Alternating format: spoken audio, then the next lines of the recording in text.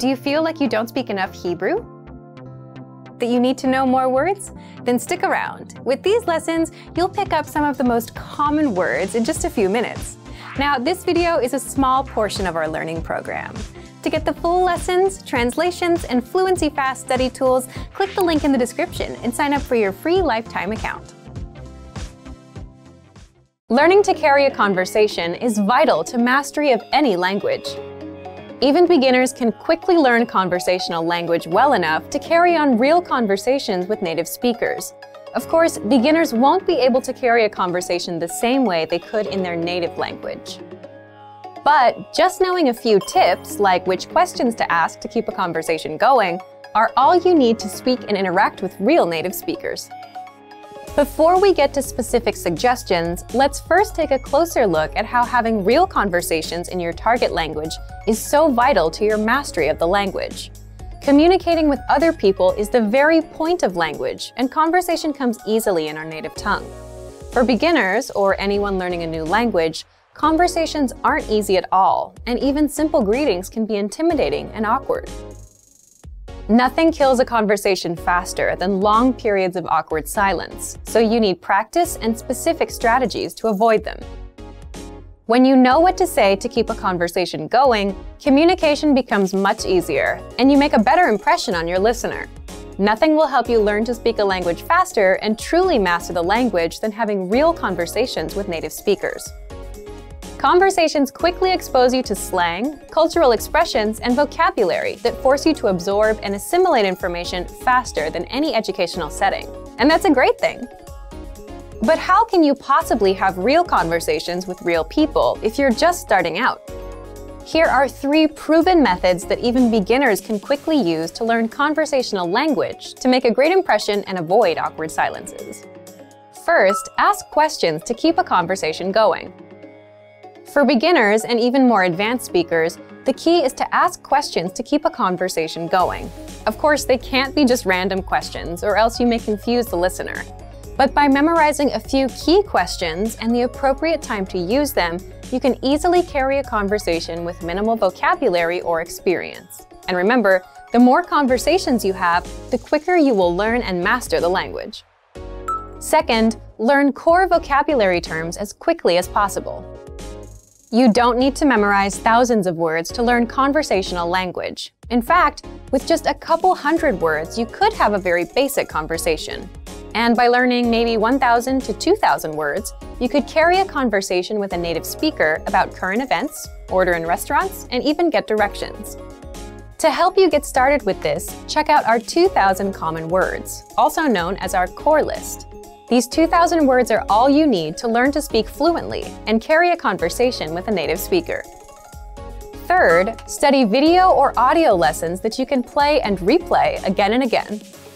If you want to know how to carry on a conversation, then you need exposure to native speakers, and the more, the better. Studying video or audio lessons is ideal because they provide contextualized learning in your native language, and you can play them again and again until you achieve mastery. Our instructors have created more than 2,500 video and audio lessons that you can play over and over. And the best part is, they don't just teach you vocabulary and grammar.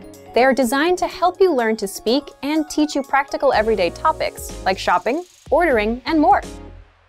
Although it may seem intimidating for a beginner, the truth is that it's very easy to learn conversational language. Just learn a few core vocabulary terms and which questions to ask to keep a conversation going. Our language learning program has the world's largest online collection of video and audio lessons by real instructors. Plus, tons of advanced tools to help you learn to speak and carry on a conversation quickly. Just a little practice and exposure to real conversations or lessons is all it really takes. So, if you're ready to finally learn a new language the fast, fun, and easy way, sign up for your free lifetime account by clicking on the link in the description. Signing up takes less than 30 seconds, and you'll start speaking from your very first lesson. If you enjoyed these tips, hit the like button, share the video with anyone who's trying to learn a new language, and subscribe to our channel. We release new videos every week. I'll see you next time. Bye! Hello everybody, Edith here. Welcome to Hebrew Top Words. Today we're going to talk about 20 travel phrases you should know. Let's get started. אפשר לקבל מפה? Could I get a map? אפשר לקבל מפה? Could I get a map? Obviously, you can hear the closeness between the word map and mapa. And I think probably the origin is like Greek or something like that, and it just, you know, found its way into all the different languages. אתה מדבר אנגלית? Do you speak English? אתה מדבר אנגלית? Do you speak English? Well, obviously, if somebody speaks English, he can answer you that question even if you ask it in English. יש אוטובוס משדה התעופה לעיר? Is there a bus from the airport to the city? יש אוטובוס משדה התעופה לעיר? Is there a bus from the airport to the city? Yeah, that's always very useful. I suggest you ask this question like at the information center inside the airport and not just go outside and start asking people because most people have their own arrangements of getting to their own places and, you know, just talk to people who know stuff, you know? יש אינטרנט אלחוטי בחינם? Is there free Wi-Fi? יש אינטרנט אלחוטי בחינם? Is there free Wi-Fi? Now this is a question that I can relate to. If you want to ask like what's the Wi-Fi password in Israel, then you should ask מה הסיסמה לווי-פיי? If you say Wi-Fi, people know what that is. Um, so just ask מה הסיסמה? יש לכם חדרים פנויים הלילה? Do you have any vacancies tonight? יש לכם חדרים פנויים הלילה? Do you have any vacancies tonight? Girl, if you didn't pre-order your rooms in advance, like, I don't know, I don't, I can't even, I don't know what to tell you. Okay? Just, whatevs. אני יכול לעבור לחדר אחר? Could I move to a different room? אני יכול לעבור לחדר אחר? Could I move to a different room? I don't normally do this unless the room is really bad or it smells. That happened to me before, like when the room just smells out of out of nowhere. הזמנתי מקום. I have a reservation. הזמנתי מקום. I have a reservation. So this one you can use in both restaurants or hotels or, you know, whenever you make a reservation to. Sometimes it could even be a bus. So that's really useful. אפשר לקבל תפריט בבקשה? Could we have the menu please? אפשר לקבל תפריט בבקשה? Could we have the menu please? Yeah, sometimes they just forget. Like they sit, they sit you down, you're at the table. Sometimes they'll even give you water and no menu, so that's kind of funny. יש לך המלצות? Do you have any recommendations? יש לך המלצות? Do you have any recommendations? So I think like in Israel generally, if you ask the waiter if he has recommendations, then he will tell you what he personally likes. Um, whereas in other places, they would like, oh, do you have recommendations? And they'll tell you, yeah, this and this, and it's very popular. So I don't know what you guys prefer, but I kind of prefer the waiter's own preference because he probably ate all of the dishes in the menu and he knows what up, you know. אפשר לקבל את החשבון? Could I have the check? אפשר לקבל את החשבון? Could I have the check? Yeah, or you can just like. And I think that's like an international thing, you know, check please. But you'll be surprised, some countries. אני אלרגי לבוטנים. I'm allergic to peanuts.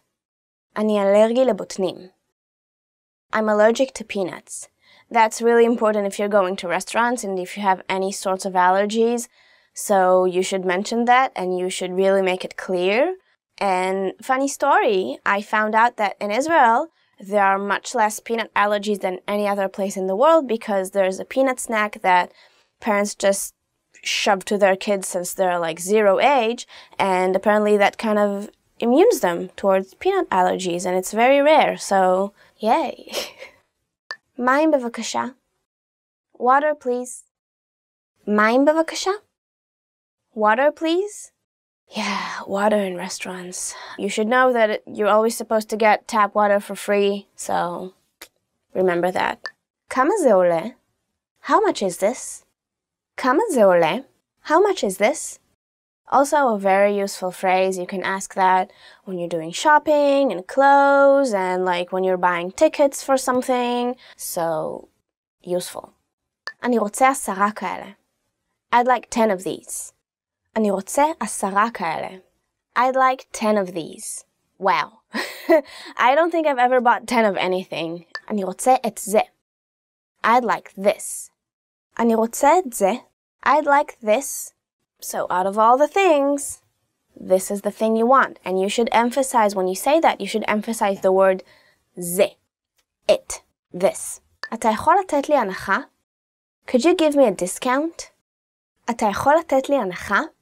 Could you give me a discount? Now this one you should always say with a smile on your face. And another way of saying it in Hebrew, which is a little bit more common and a little bit more casual, is instead of instead of the verb latet, to give, use the verb לעשות, to do. אתה יכול לעשות לי הנחה? אתם מקבלים כרטיסי אשראי?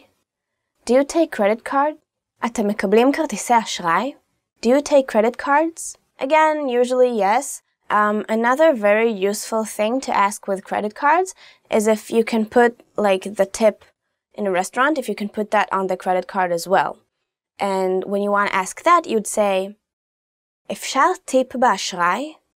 איפה תחנת הרכבת? Where's the train station? איפה תחנת הרכבת? Where's the train station?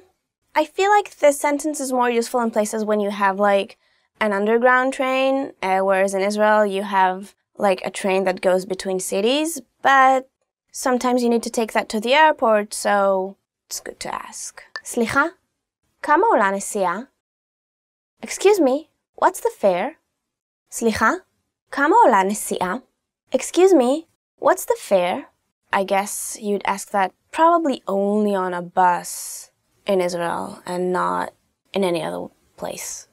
אתה יכול לצלם אותי בבקשה? Could you take a picture of me, please? אתה יכול לצלם אותי בבקשה?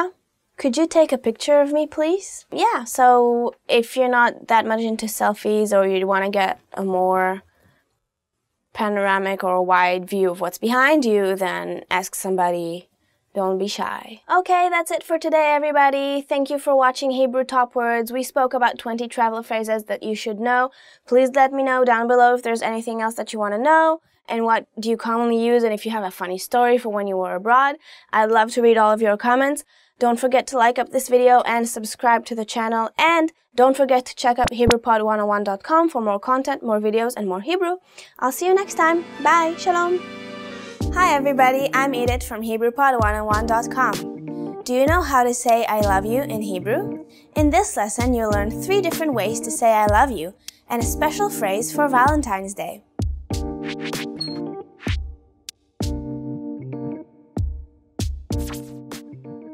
Let's start with the most common phrase. אני אוהב אותך. אני אוהב אותך. I love you. This phrase is direct. You should use it only when you're confessing your love.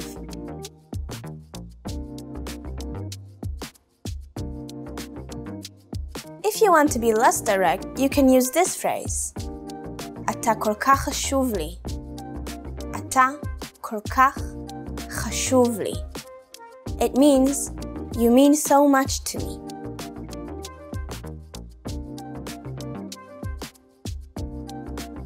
Now, if you want to be more romantic in expressing your love for someone, you can say this phrase: מילים לא יכולות לתאר את האהבה שלי אליך.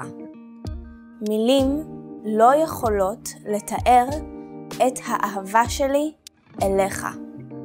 It means words cannot describe my love for you.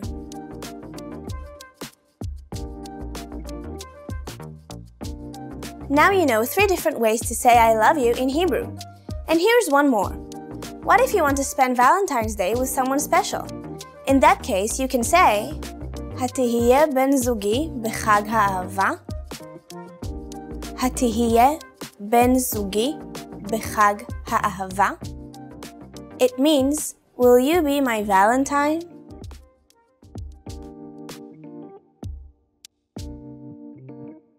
Let's wrap up this lesson by recapping what we've learned.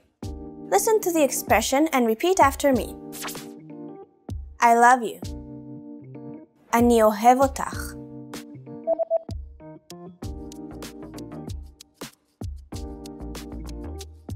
אני אוהב אותך. You mean so much to me. אתה כל כך חשוב לי.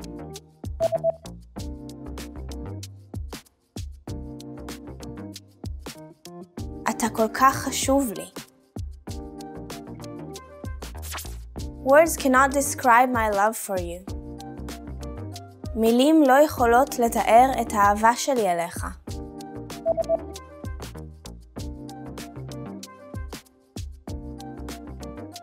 מילים לא יכולות לתאר את האהבה שלי אליך. Will you be my valentine? התהיה בן זוגי בחג האהבה?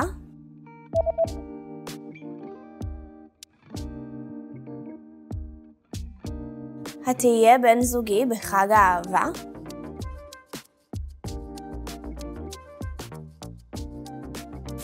Well done!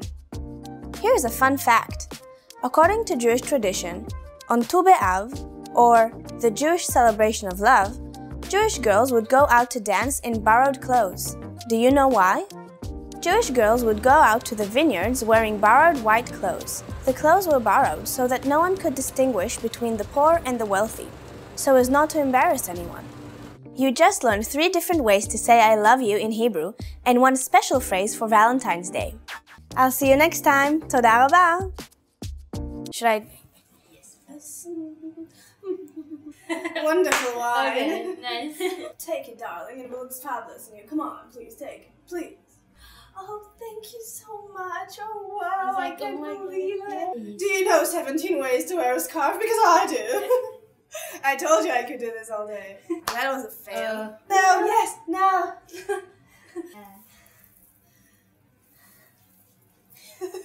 oh, look at all this money. Do you want some money? I'll give you. Oh, that's what the young people are doing to this, right? I'm just a person. Hi everybody, Edith here. Uh, welcome back, and today we're gonna learn top 10 phrases you'll need for a date. also, I want to mention that I will speak as a woman inviting a man out, so all of those phrases will be addressed towards a male. Let's begin. רוצה לצאת איתי לארוחת ערב? Would you like to go out to dinner with me? רוצה לצאת איתי לארוחת ערב? Would you like to go out to dinner with me? Yeah, I think like dinner is a more mature kind of a date. I think it's either if you're more far along in your like your relationship, like you're maybe you're a bit more mature and you have more money. um, but most people maybe would just go out for like a coffee or a beer. רוצה לבלות יחד? Would you like to hang out with me? רוצה לבלות יחד? Would you like to hang out with me?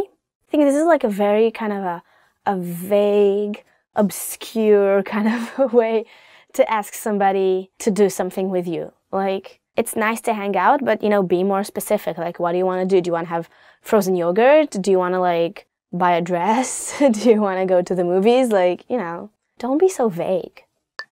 אתה כל כך חמוד. You're so cute. אתה כל כך חמוד. You're so cute. So in Hebrew, when we say the equivalent of cute, which is chamud, it's kind of like friend zoning somebody, as a matter of fact. It's not like, mmm, cute, like he's handsome, like in English. It's just like saying cute to a dog. And there's also a saying a guy would say, call a dog cute. Like, I'm not cute, I'm a man. So if you're a woman and you're telling a guy he's cute, that's not a compliment. אתה נראה נהדר. You look great. אתה נראה נהדר. You look great. You know, sometimes like when you see your date, he just comes over and he really looks sharp. It's like, oh, you look great. Yeah. זה היה ערב נהדר. That was a great evening. זה היה ערב נהדר. That was a great evening. Don't say it if you just had like an okay kind of a time, because the word nehedar in Hebrew, it means actually like, you know, great, like fantastic. And if you really had a fantastic time and you're not trying to like play it cool and you really wanted him to know that you had a good time, um, then then say that. But if you're trying to be cool, you know, say something maybe a bit more mild. אני אתקשר אליך. I'll call you. אני אתקשר אליך. I'll call you. Now, guys, especially guys, Don't say it if you don't mean it. Just say, it was great seeing you, okay, bye. That's good enough. אני אסיע אותך הביתה. I'll drive you home. אני אסיע אותך הביתה. I'll drive you home. Not if you had drinks. If you had dinner, you know, a soft drink, then sure, you know, drive him home. Why not? Show him your driving skills. באיזו שעה אתה רוצה להיפגש מחר? What time shall we meet tomorrow? באיזו שעה אתה רוצה להיפגש מחר? What time shall we meet tomorrow? Um, again, this is like very useful when you just we, you said tomorrow, but you don't really know exactly when. Is it seven? Is it eight? Is it eight? And then just be more specific and ask him what time. רוצה להיפגש שוב? Can I see you again? רוצה להיפגש שוב? Can I see you again? Yeah, it's like a very direct thing to ask. I don't think I've ever asked it anybody. And you don't really have to. You just can like, yeah, okay, I'll call you or, you know, or call me if it's really important to you and, you know, you're not playing any games and you're all being like really straightforward and simple, then you might say, רוצה להיפגש שוב? Can I see you again? רוצה ללכת למקום אחר? Shall we go somewhere else? רוצה ללכת למקום אחר? Shall we go somewhere else? You know, if the bar is too loud or, you know, maybe smelly from cigarettes, or maybe the restaurant you wanted to go to is there's a bit of a line, um, and you're thinking, okay, let's not waste our time, and maybe you can find someplace that's more comfortable, then you'd ask that, like, שנלך למקום אחר? Okay, so thank you everybody. Today we learned about top 10 phrases you'll need for a date. I hope you have many successful ones. And if you're already in a relationship, you know, just skip the video. Please don't forget to subscribe to this channel and like up this video. And don't forget to check out HebrewPod101.com. Okay, see you. Bye-bye. Leitot. You are at a train station platform where you are waiting for your train. There's a small pamphlet sitting on a display case about a new train that will be introduced next year. You decide to pick up and read the pamphlet. What is the main feature and the biggest advantage of the new train?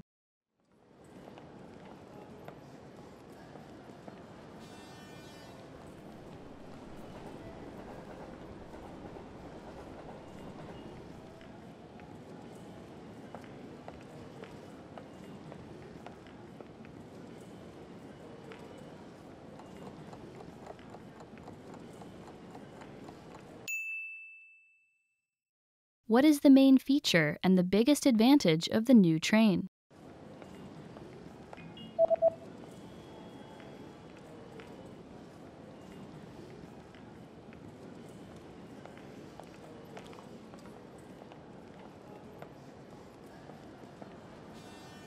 The main feature of the train is that it is propelled by magnetism. The biggest advantage is that it can reach twice the speeds of any train that runs on tracks. של הרכבת הוא שהיא מונעת על ידי מגנטיות. היא יכולה להגיע למהירות כפולה מזו של רכבת שנוסעת על פסים. Hello everybody, Edith here. Welcome to Hebrew Top Words. Today we are going to talk about the five biggest festivals in Israel. Let's start. Midburn. Midburn. Midburn. Midburn. השנה לא השגתי כרטיס למידברן. This year I didn't get a ticket to Midburn. I actually have never been to Midburn, but it sounds kind of awesome. The meaning of the name is like in the middle. It's in the middle, but it's burning. It's in the desert. Midburn. It's supposed to be like Coachella, I think. It's like the Israeli version of Coachella. It kind of looks like a, a huge village with weird art installments and people are dressed with like, you know, sparkles and sequins and stuff. Uh, it's actually, it's supposed to be really fun. Um, I don't think it's an international festival, but I, maybe there are a few bands from outside of Israel who are performing there. Um, sometimes it's getting bigger every year, of course. And I hope to go one day if I get the chance and the guts. Indie Negev. Indie Negev in the Negev. Indie Negev. האינדי נגב נערך The Indie Negev is held every year in autumn. I've actually been to the Indie Negev. It's also a music festival for indie bands, and it's held in the Negev, which is the desert in southern Israel. And if you have the chance to go, it start. It, usually, it's right before the beginning of the um, school year in universities and colleges, so you can have like one last huzzah uh, before you start school again. So it's nice. פסטיבל הג'אז בים האדום Red Sea Jazz Festival פסטיבל הג'אז בים האדום Red Sea Jazz Festival ג'אז בים האדום הוא אירוע מוזיקה בינלאומי. the Red Sea Jazz Festival is an international music event. Um, yeah, I think the Red Sea Jazz Festival is the most famous uh, festival, music festival in Israel. And it's true that artists come from all over the world. I've been there once when I was 17 uh, with my brother. It was actually pretty awesome, even though I really hate jazz. Sorry, I do. Festival Arad. Arad Festival. Festival Arad. Arad Festival. Festival Arad הוא מהוותיקים בישראל. The Arad Festival is one of the oldest in Israel. Um, it's true, I think the Arad Festival started like back at the 70s. I think there was a very long time when it didn't happen, but then it kind of started going again, started running again, which is nice. I don't know if you guys noticed, but most of the festivals in Israel are being held down south, the desert, even Eilat, which is the southest point. I guess it's just like there's more space. Makes sense. Festival Machol Carmiel. Carmiel Dance Festival. Festival Machol Carmiel. Carmiel Dance Festival. לאוהבי מחול מומלץ להגיע לפסטיבל בכרמיאל. For dance lovers, it is recommended to go to the Carmiel Dance Festival. So I think generally dance festivals are not quite as popular, so that's why this one is being held up north, which is generally a little bit more like you don't have that many open spaces there. Um, but what can you do? I think people are more into music than dance generally. Okay, everybody, that's it. Today we've talked about the five biggest festivals in Israel. Uh, let me know in the comments below about your festival experiences and if you've ever been to one of the festivals in Israel. Um, all right, and don't forget to check out HebrewPod101.com for more Hebrew, more content, and I will see you all next time. Bye bye, Litrot.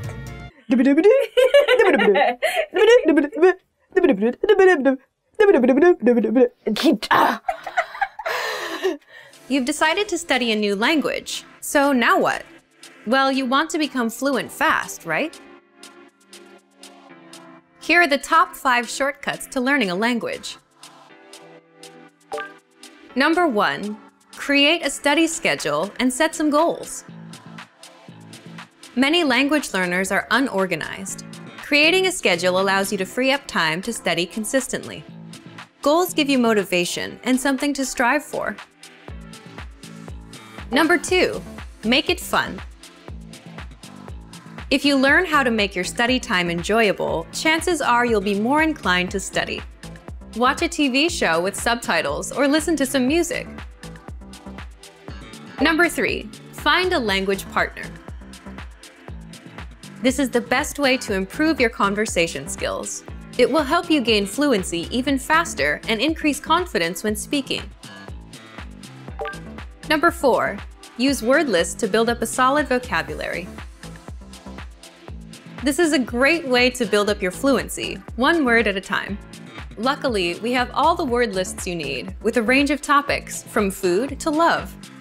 Choose whichever language you want to study and go. Number five, don't be afraid to make mistakes. Nothing helps you improve more than correcting your own errors. You're more likely to remember it correctly the next time around. Everyone makes mistakes. Don't be afraid to learn from them. There's no magical way to learn a new language overnight, but doing all of these can really help your learning process. And remember, if you're interested in getting on the fast track to fluency, sign up for your free lifetime account. No credit card required, and you'll get the best free online resources. Start learning now. Shalom everybody, Edith here, welcome to Hebrew Top Words and today we are going to talk about 15 must-know family words. Let's get started. Mishpacha, family. Mishpacha, family. Zot munashel mishpachti. This is a picture of my family. Av, Abba, father. Av, Abba, father. Miha Abba shel Mario? Who is Mario's father? So in Hebrew, there are basically two ways for saying father or dad, and one of them is Abba, which is the more natural one, a normal one that people use, and it can mean dad or daddy or father also. It's like a real word. It's not just like daddy. Um, and Av is a little bit more biblical and more formal, and people don't usually use it, but it's still, it's an important word to know. Obviously, both of the words are very close with just the difference of one letter in the end. Um, so you can understand, but just so you'll know that Av is a bit more serious, I guess. Baal, husband. Baal, husband. בעלי האהוב מבשל בשבילי. My beloved husband is cooking for me. So, actually now a lot of women, and especially I guess feminist women, um, don't want to use the word Baal anymore because it, it is, it does come from the word owner. And of course, yes, it comes from the Bible and back then men used to own women. But since we don't live at that time anymore, uh, many women just don't say that word anymore and they say uh, an equivalent to my man, which is ishi. Ben, son. Ben, son. הבן שלי סטודנט באוניברסיטה. My son is a university student. This is really easy. The word for son in Hebrew is just the same as the word for boy. Um, ben. Ach, brother. Ach, brother. לאבא שלי יש שלושה אחים. My father has three brothers. This is also like a very easy word, ach. If you got your chet right, then you'll be fine. דוד, uncle.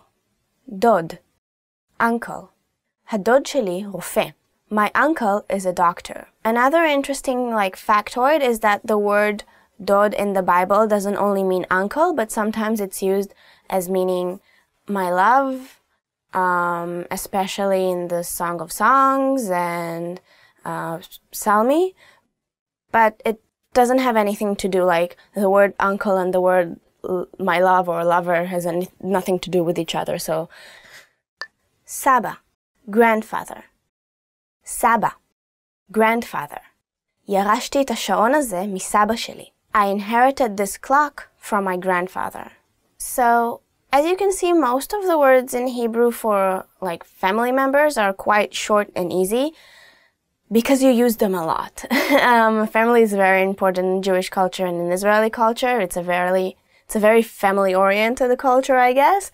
So, yeah, like even the words for dad and granddad are very similar. It's Abba and Saba. Em, Ima, mother. Em, Ima. mother. אמא ואבא שלי היו נשואים 50 שנה. My mother and father were married for 50 years. So again, for the word for mom or mother, the word ima is more common and used as mom, mommy, mother, and the word em again is more biblical. It's shorter. It's more official. Um, just the same as we've learned about father. Bat, daughter. Bat, daughter. הבת שלנו פרופסורית באוניברסיטה, והבן שלנו איש עסקים. Our daughter is a university professor, and our son is a businessman. Again, very easy, the word for daughter is just the same as the word for girl, בת. אחות, sister. אחות, sister. היא האחות הגדולה שלי, והיא עורכת דין. She is my older sister, and she's a lawyer. אחות as you can probably tell, sounds very similar to ach, just with a suffix for female. Isha, wife. Isha, wife. He isha ve'em. She's a wife and a mother. The word for wife is the same as the word for woman. It's very simple. Um, it's like, she's my woman, she's my wife. It's the same. Um, and when a man says my wife, he would say, the most common way to hear it is ishti. Chamot. Chama Mother-in-law. Chamot. Chama. Mother-in-law. אל תיתן לחמה שתלטנית לרדות בך. Don't be pushed around by an overbearing mother-in-law. It's not just the mothers, everybody, okay? Also, there are two words for the word mother-in-law, and they're very similar, chama and chamot. And they're both used kind of, you know, interchangeably. Savta, grandmother. Savta, grandmother. סבתא מכינה את פאי התפוחים הטוב בעולם. My grandmother makes the best apple pie in the world. Well, I guess American grandmothers. My grandmother made the best rice casserole in the world. Bat zug. Ben zug. Partner. Bat zug. Ben zug. Partner. הרבה גברים צעירים מחפשים בת זוג.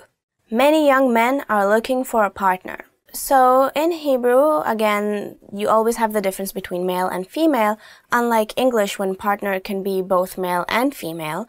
So when you're talking about a boy partner, it's ben zug, and a girl partner is bat zug. Um, like we've learned that Ben is boy and Bat is girl and also daughter and Ben is also son. It's very, very simple. Doda. aunt. דודה, aunt. הדודה שלי אוהבת פרחים צהובים. My aunt likes yellow flowers. Sometimes we use the word for aunt in Hebrew also when we see just like a woman who's a little bit older, maybe like in her 50s, and she seems to, you know, have this older woman vibe, or when we say about somebody that she dresses older from her age or puts a makeup that makes her look older than her true age, then we can say that she looks like a doda, she looks like an aunt. Um, I don't know why that is, but actually I think that's a very accurate way to say it, like, oh yeah, she looks like a tall aunt. So, yeah. Okay, everybody, that's it for today. Today we've learned about 15 must-know family words in Hebrew. Please let me know in the comments below. Tell me about your family and who is your favorite family member. And don't forget to like up this video, subscribe, and check out HebrewPod101.com for more Hebrew, more context, and I'll see you next time. Bye! Hi, everybody. I'm Edith from HebrewPod101.com. In this lesson, you learn some important phrases for Hanukkah in Israel and some valuable cultural tips.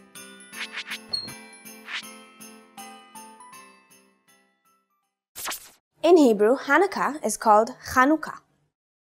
Chanukah. Jewish people don't observe Western Christmas. Instead, Hanukkah, or the Festival of Lights, is celebrated over eight days in November or December each year. Hanukkah commemorates the rededication of the Second Jewish Temple in Jerusalem.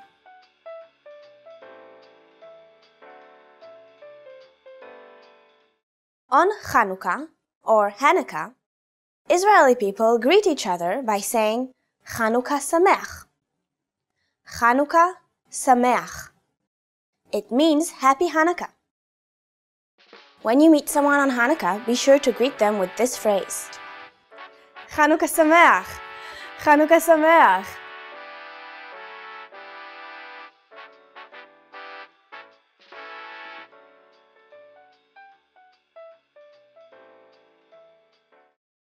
Jewish people celebrate the holiday with special events and customs. The most popular food to eat during Hanukkah is leviva. Leviva. It means potato cake. For Hanukkah, fried potato cakes are a traditional dish. These deliciously crispy cakes are served with sour cream and applesauce. Contemporary recipes feature alternative ingredients, such as pumpkin, cauliflower, and a special Moroccan spice blend.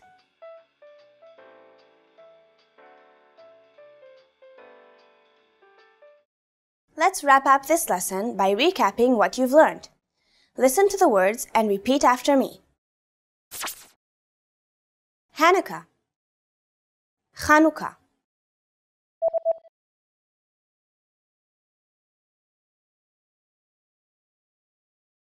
Chanukah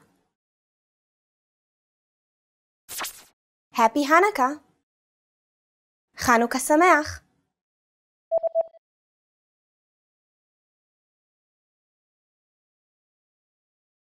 Chanukah Sameach Potato cake Leviva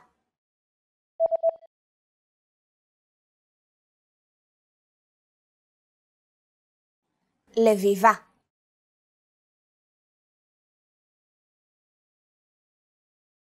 Well done! Here's a fun fact. Do you know a special custom Jewish people observe over Hanukkah? Over the eight days of Hanukkah, a candle is lit each day on a special candle holder called the Chanukiah. That's it! You just learned about how Israeli people celebrate Hanukkah and some important facts about the holiday. Jewish people don't. Sorry, I like. My eyes bounced.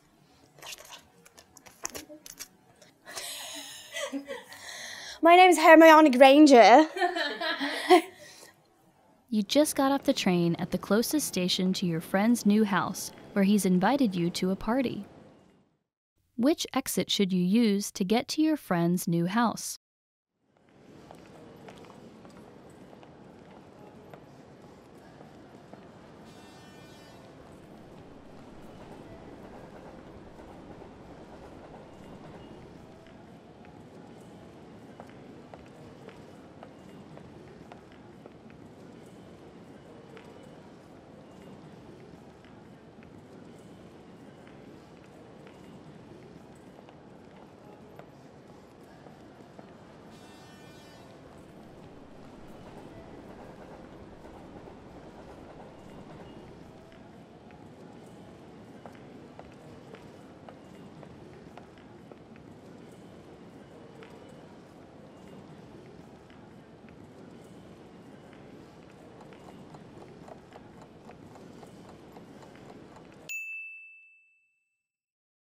Which exit should you use to get to your friend's new house?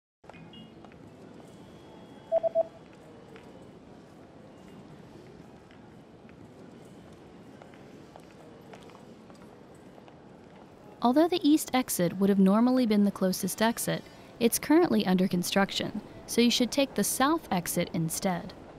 לצאת ביציאה הדרומית.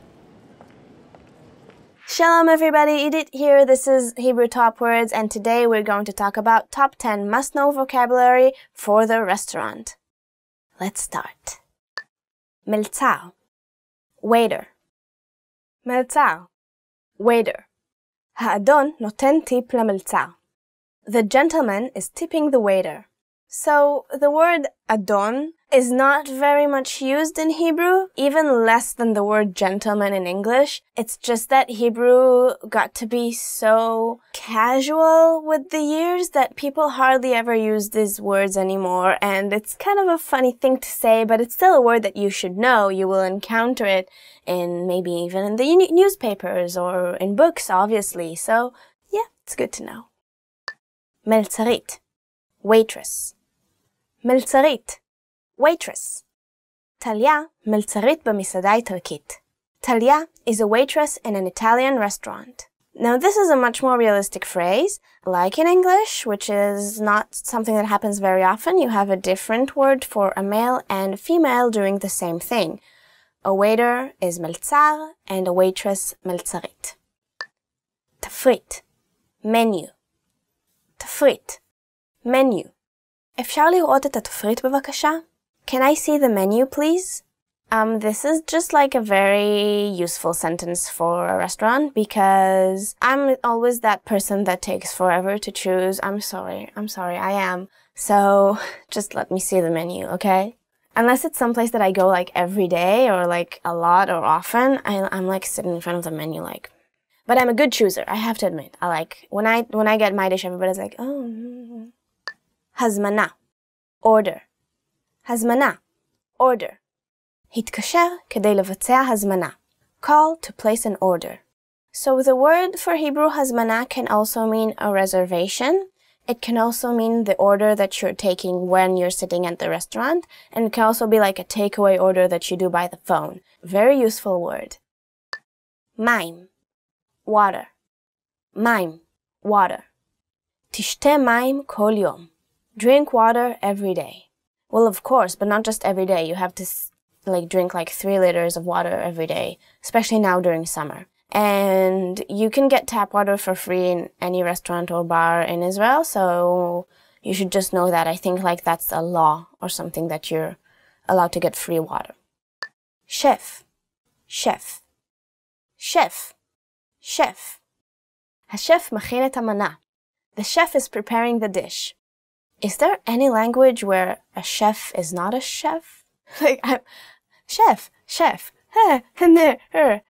מסעדה, restaurant. מסעדה, restaurant. הוא הלך למסעדה אחרי העבודה. He went to a restaurant after work. Um, so the word מסעדה is from the word sa'ad, which means to eat or to have a meal. חשבון, bill. חשבון, bill. מלצר, החשבון. Waiter, the bill. Um, the word cheshbon in Hebrew also means maths because you have to do the math to know how much you pay, right? So it just makes sense. So, waiter, the maths. Taim, delicious. Taim, delicious. סחוג עם גבינה לבנה על לחם זה טעים מאוד. Srog with white cheese on bread is very delicious. Yes, it is, if you like spicy food. Manai karit, main course. Manai karit, main course. המנה העיקרית הערב היא דג על האש. Tonight's main course is grilled fish. Okay, everybody, that's it. Today we talked about 15 must-know vocabulary for the restaurant. Let me know in the comments below about your experiences at restaurants. Good ones, bad ones, funny ones. I sure have a lot of embarrassing ones. So let me know in the comments. Don't forget to like up this video, subscribe, and check out HebrewPod101.com for more Hebrew, more content, and I'll see you all next time. Bye, shalom. Hello everybody, Edith here. Welcome to Hebrew Top Words and this week we're going to talk about top 10 phrases your parents always say. Let's get started. Tizaher lecha. Be careful. That's like, you're walking on thin ice, buddy. Be careful. Just a disclaimer, my parents never said those things to me because I was an amazing child, but I do have two brothers and, you know, tiyeh b'sheket. Be quiet. I wish just everybody, right? Just everybody to be quiet. תתנהג יפה. Behave. That's like, I think it's not such a bad thing to say. It's like, oh, well, you know, be nice. Even though your friend is a total weird, weirdo who it's his boogers, just be nice. עשה את שיעורי הבית שלך. Do your homework. No TV before you finish. לך לישון. Go to bed just a little bit of formaldehyde and just sound asleep. אני סופרת עד שלוש. I'm going to count to three. And what? Like nobody ever follows that threat. עצור. Stop. Um, this stop is also like in traffic, like stop, just, yeah. מה אמרת? What did you say? um, this is like a classic passive aggressive mother of like, like, oh, do you want to say that again? You want to say it to my face? Mm, yeah? אני לא צוחקת.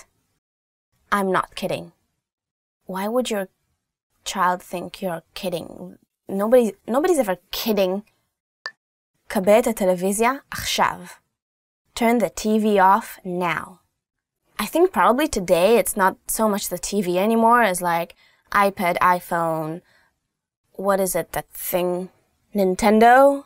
I, I don't know. The Switch? Yeah, the Nintendo Switch. Yes. Put your Nintendo Switch down. Just they can just say, put that thing down. Okay, everybody, that's it. We did top 10 phrases your parents always say. Let me know in the comments below some of the gems that your parents say to you. Um, I wouldn't know again, but let me know. I think it's hilarious. And yeah, don't forget to like up this video, subscribe, check out Hebrew Pod 101 for more content, more Hebrew, and I'll see you all next time. Shalom! Learning a language requires a huge investment of time and often money as well. Many people are hesitant to put in the amount of effort required to become fluent. But learning a new language can be one of life's most rewarding experiences. Here are five reasons to learn a language. Number one, more opportunities. A new language can open up many new doors. You're able to work in countries other than your own. Tons of employers look to hire multilingual professionals every year.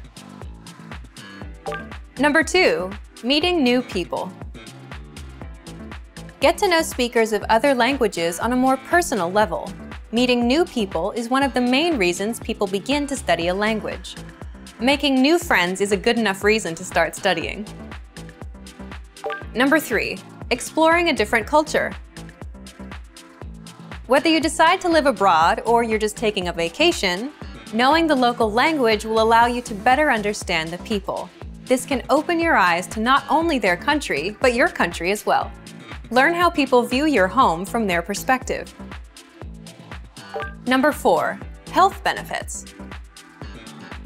Studying a new language actually comes with health benefits. Keep your brain sharp by studying every day. You'll be helping your mind fight off old age and stay fresh.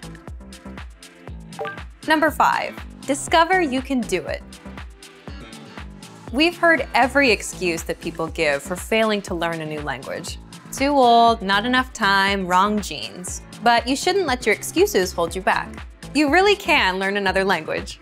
You could even hold your first conversation just a few days from now. Don't make any more excuses. Just click to start speaking the language you've always wanted to learn. Sign up for your free lifetime account. No credit card required, and you'll get the best free online resources. Stop hesitating and start learning a new language now.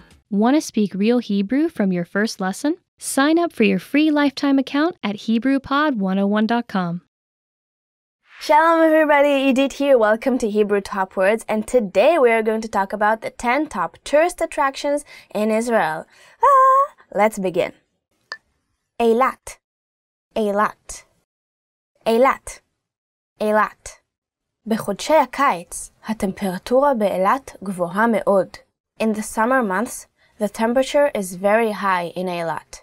That's true, it's a desert area, but also it's dry heat, so it's not as bad. It's very dry, so you don't sweat as much, but you do have to be careful not to dehydrate and also, you know, protect yourself from the UV rays. Um, but it's nice. Yam HaMelach, Dead Sea. ים המלח, the Dead Sea. מי ים המלח מלוחים מאוד. Dead Sea water is very salty. So in Hebrew, actually, the name is not the Dead Sea, but actually the Salt Sea, uh, which makes sense. It has an extremely high percent of salt and like phosphates, I guess, and other type of minerals. It's supposed to be very healthy for your body, unless you have any open wounds, which in that case, mm-mm. Ow but it is very healthy. The sun doesn't, they say that the, because it's so low beneath the sea level, that the sun doesn't hit there the same as other places, so you don't get as much UV um, as you do in places that are sea level or up, which somehow makes sense, but I wouldn't take the chance and I would still put on a lot of cream. Yerushalayim, Jerusalem. Yerushalayim, Jerusalem. בירושלים חיים למעלה מ-800 אלף תושבים. There are more than 800,000 inhabitants living in Jerusalem. I guess so. Uh, I've never checked. It is a very interesting city. There is a lot to do there. Um, even if you're not into all the religious things, it's a nice place to visit, to hang around. They have some really awesome cafes, cool universities, cool subculture. Um, yeah, it's nice. Kinneret, the Sea of Galilee. Kinneret, The Sea of Galilee. רכבנו סביב הכנרת. We rode around the Sea of Galilee. Yeah, that's a, a very beautiful area right there. Um, I think one of my favorite places to go if I want to go to like a resort in Israel is around there.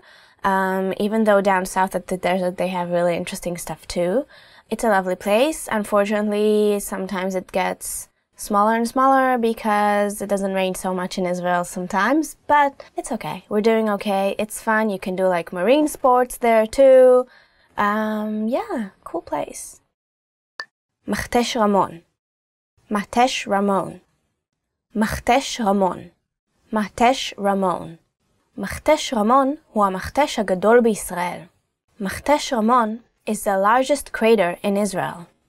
Honestly, I think it's also the largest natural crater in the world. I know that geologists go there all the time to do research and like seminars and stuff like that. It's supposed to be a super interesting place. I personally have never been, maybe because my parents were too concerned about my allergies, which it makes sense every time I go to the desert, they just flare up. Um, but it's an amazing place and you should visit. מצדה מסדה, מצדה, מסדה. למצדה סיפור היסטורי מעניין. Masada has an interesting historical story. Don't ask me about it. I'm not that good in history. I'm good in biology. Um, but it is very interesting to go there. Um, you see a lot of things that were amazingly preserved because of the dry weather over there. It is in the desert. Every time I went, I got allergies again. Um, so I didn't went there a lot, but it is interesting. And sometimes you can also have amazing concerts there at night. And because of the ancient buildings and ancient, you know, ruins, and you see all the lights, and you get like this opera show or something, it's very intense. Caesarea, Caesarea, Caesarea, Caesarea. בקיסריה נותרו שרידים רבים מתקופת הרומאים. In Caesarea, there are many relics from the Roman era. That's true, it's also another very interesting historical place. It's also very beautiful, very romantic. Some people get married there. Um, there is, I think, even a golf course somewhere around there. They have a lot of very expensive neighborhood that um, there are the homes of the richest people in Israel. And it's a beautiful place. Yeah, you should go, definitely. Tel Aviv, Tel Aviv, Tel Aviv. תל אביב. תל אביב היא עיר מודרנית ותוססת. Tel Aviv is a modern, vibrant city. Yeah, well, that's my favorite place in Israel, obviously. This is where I was born and raised. It's a beautiful place. It's an awesome place. There's lots to do, great food, a lot of hipsters. I love hipsters. Um, and yeah, it's great. If you want to have fun, go to parties, go to the beach, meet new people. Um, that's the place. Yafo, Jaffa. Yafo, Jaffa. Yafo היא עיר נמל עתיקה. Jaffa is an old port city. So actually Tel Aviv and Jaffa are the same jurisdiction, it's the same city. Um, Yafo is beautiful. There are many things to do there. Um, flea market and the beach and Andromeda's rock and you have some restaurants there and you have the old city. And I remember actually, beautiful memory, when I was in the second grade, we had like um, a sunrise tour. So it started like around 3 a.m. We started walking through the streets of Old Town Jaffa, and then we like stood on some hill somewhere and saw the sunrise, and it was amazing. It was my first time for me in my life to see the sunrise. It was beautiful. Sde Boker, Sde Boker, Sde Boker, Sde Boker. משדה בוקר ניתן לצאת לטיולים במדבר. From שדה בוקר you can go on desert hikes. Everything that I can't do, desert and hikes. Um, it is a, an interesting place. The first prime minister of Israel used to live there, so you can see the little hut, shack that he used to live in. Teaches you a lesson about modesty and, you know, being satisfied with only having you know, small place to live, small things, not nothing fancy. Um, yeah. Okay, everybody, that's it. These are the top 10 tourist attractions in Israel. Please let me know in the comments below if you visited any of them. Where would you want to go first? Um, if there's anything that we forgot to mention that is very important that you love to go. And yeah, that's it. Don't forget to like up this video, subscribe, and don't forget to check out HebrewPod101.com for more Hebrew, more content, and I'll see you all next time. Bye. Shalom. You are at a train station where you're heading to the Lost and Found office to retrieve a lost passport. According to an email you received from the train company, what things do you need to provide to the staff?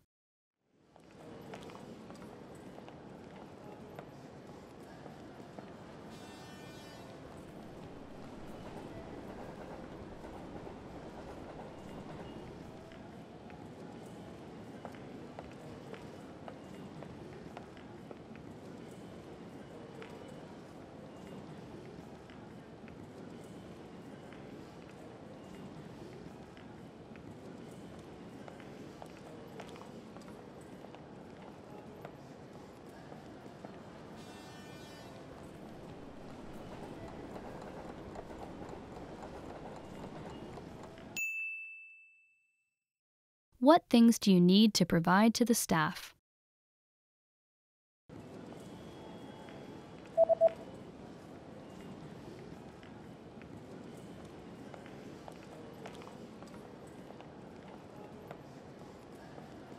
The email says that you need to present proof of identification and to pay a small fee.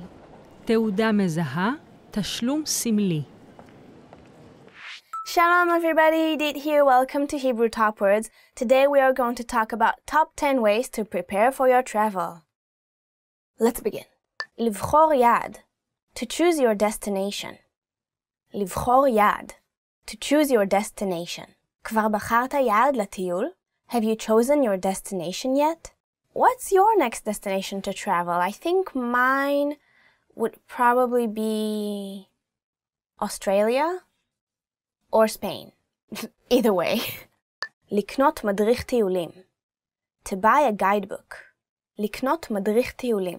To buy a guidebook. קניתי מדריך טיולים עם המלצות מצוינות. I bought a guidebook with excellent recommendations. When I had my like my trip to Thailand after I finished the army, I was 21, that was 6 years ago. I still used like a book from one of those really famous companies that do like guidebooks.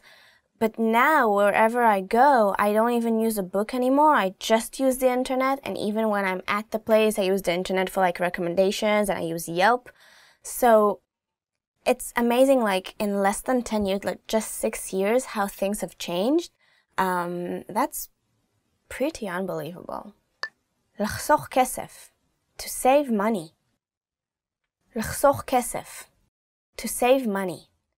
אני חוסכת כסף כבר שנתיים. I'm saving money for two years now. Um, well, I guess that depends where you want to go. Maybe some places you don't have to save as much money, or maybe if it's just a short trip. You should be comfortable when you travel and have enough money to spend on things that you want and have nice dinners. And so it's better to have it more further apart, I guess, and just be okay with the money than like go every year and just be like very skimgy about it. That's my opinion. להזמין טיסה. To book a flight. להזמין טיסה. To book a flight. הזמנתי טיסה ישירה לתל אביב. I booked a direct flight to Tel Aviv. Um, I don't want to like throw shade, but choose the companies that you fly with, the airlines that you fly with, carefully.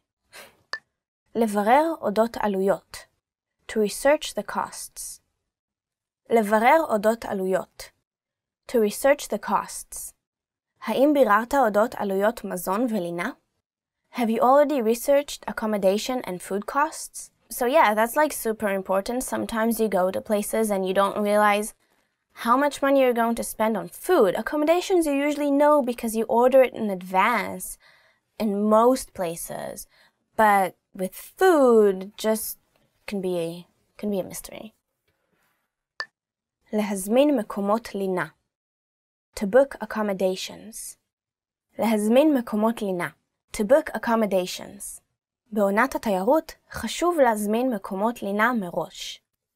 During the touristic season, it's important to book accommodations ahead. Oh, that's very true. Of course, now it might be a bit easier with like Airbnb and stuff like that, but still, like, when there is no place to sleep, there is no place to sleep. לחדש דרכון. To renew your passport. לחדש דרכון. To renew your passport. אם הדרכון פג תוקף, חשוב לחדש אותו. If your passport is expired, it's important to renew it.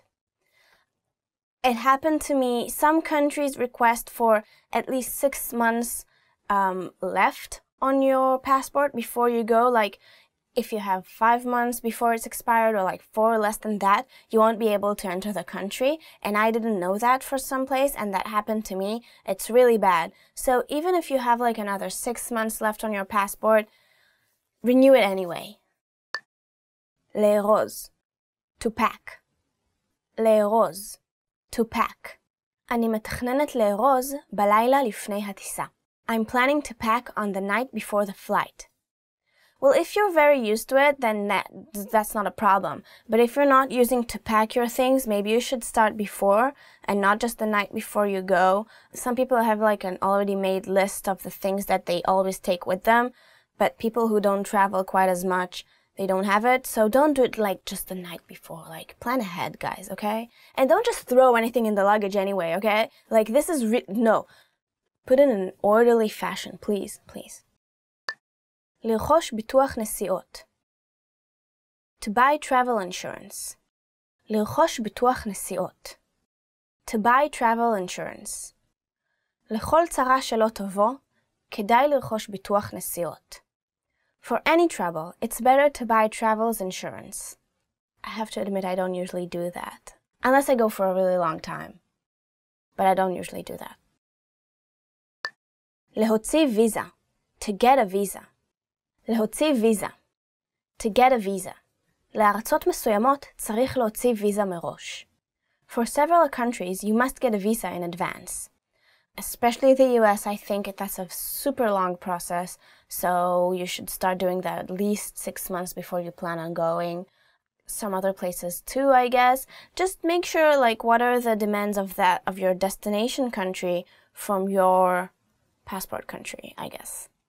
Okay, everybody, that's it. Today we've talked about 10 top ways to prepare for your travel. Let me know in the comments below if you have any tips, tricks, or any like funny stories from your traveling. If you travel to Israel or anywhere else, something like really amusing that happened that you can never forget.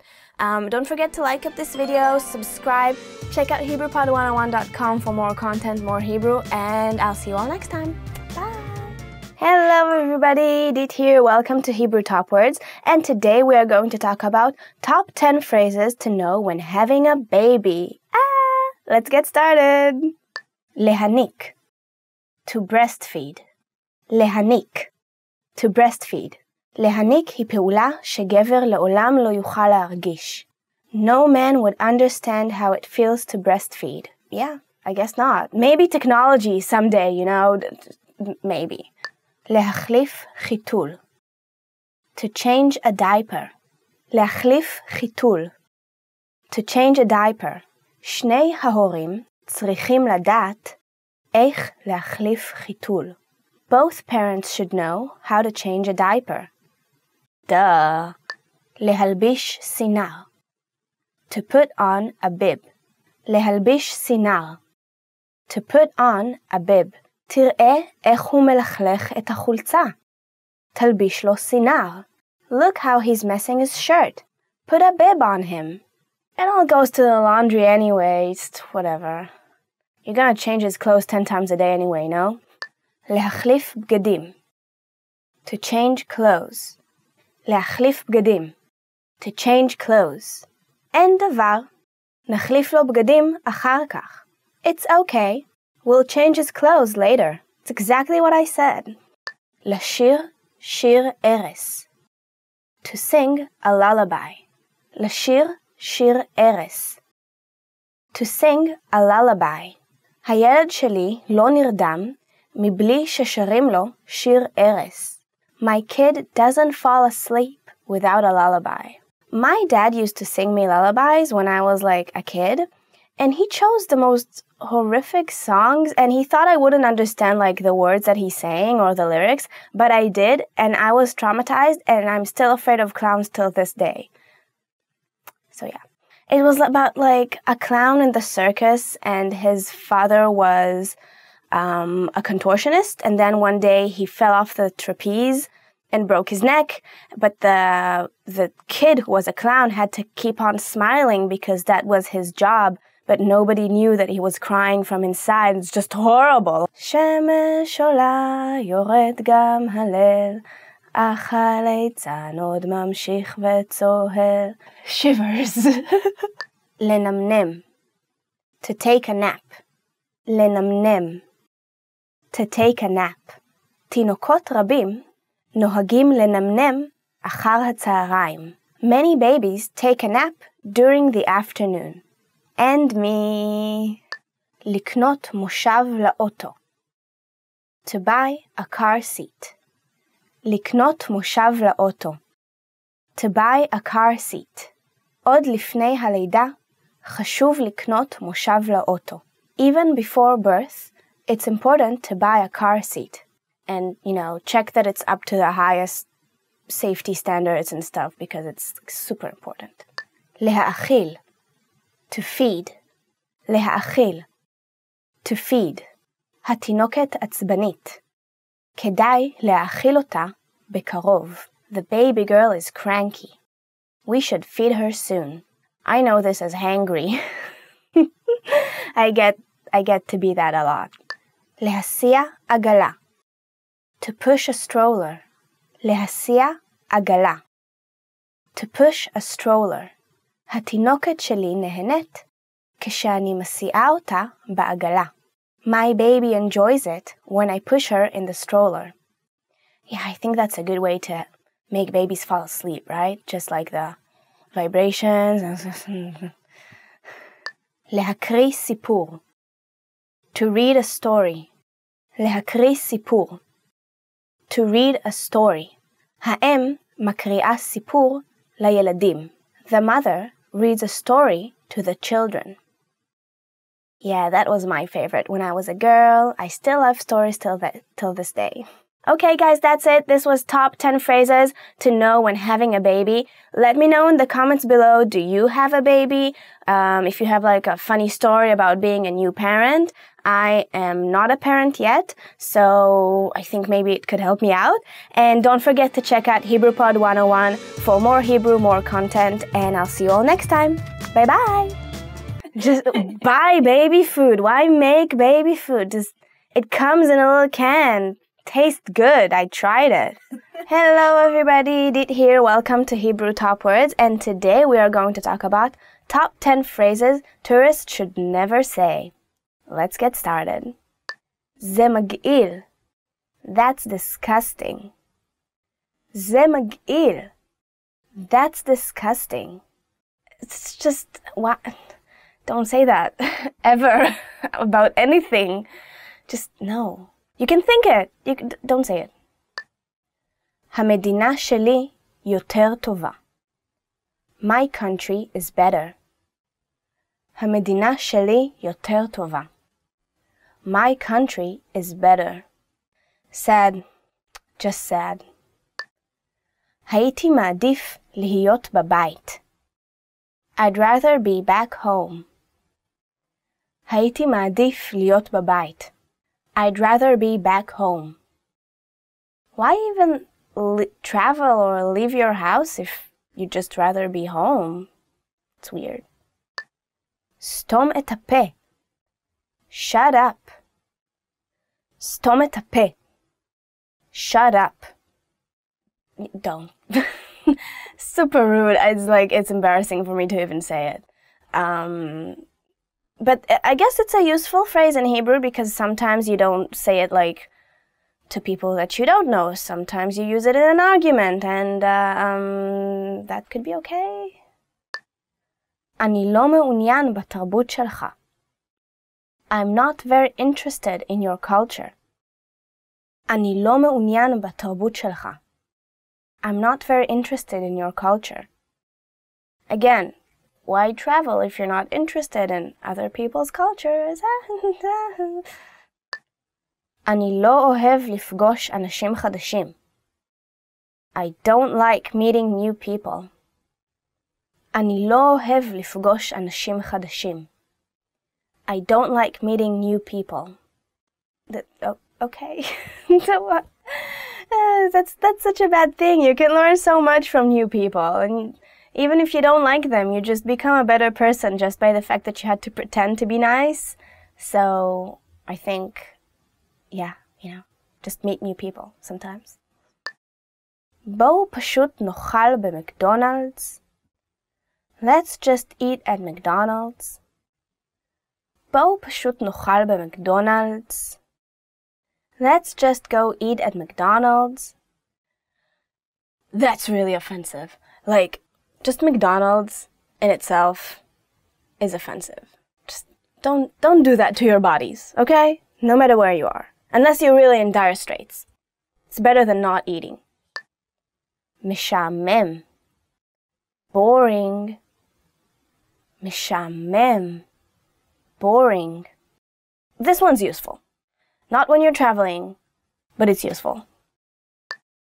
יש לזה טעם נוראי. This tastes awful. יש לזה טעם נוראי. This tastes awful. Just don't say it, but don't eat it. אני מתכוון לבלות את היום בבית המלון.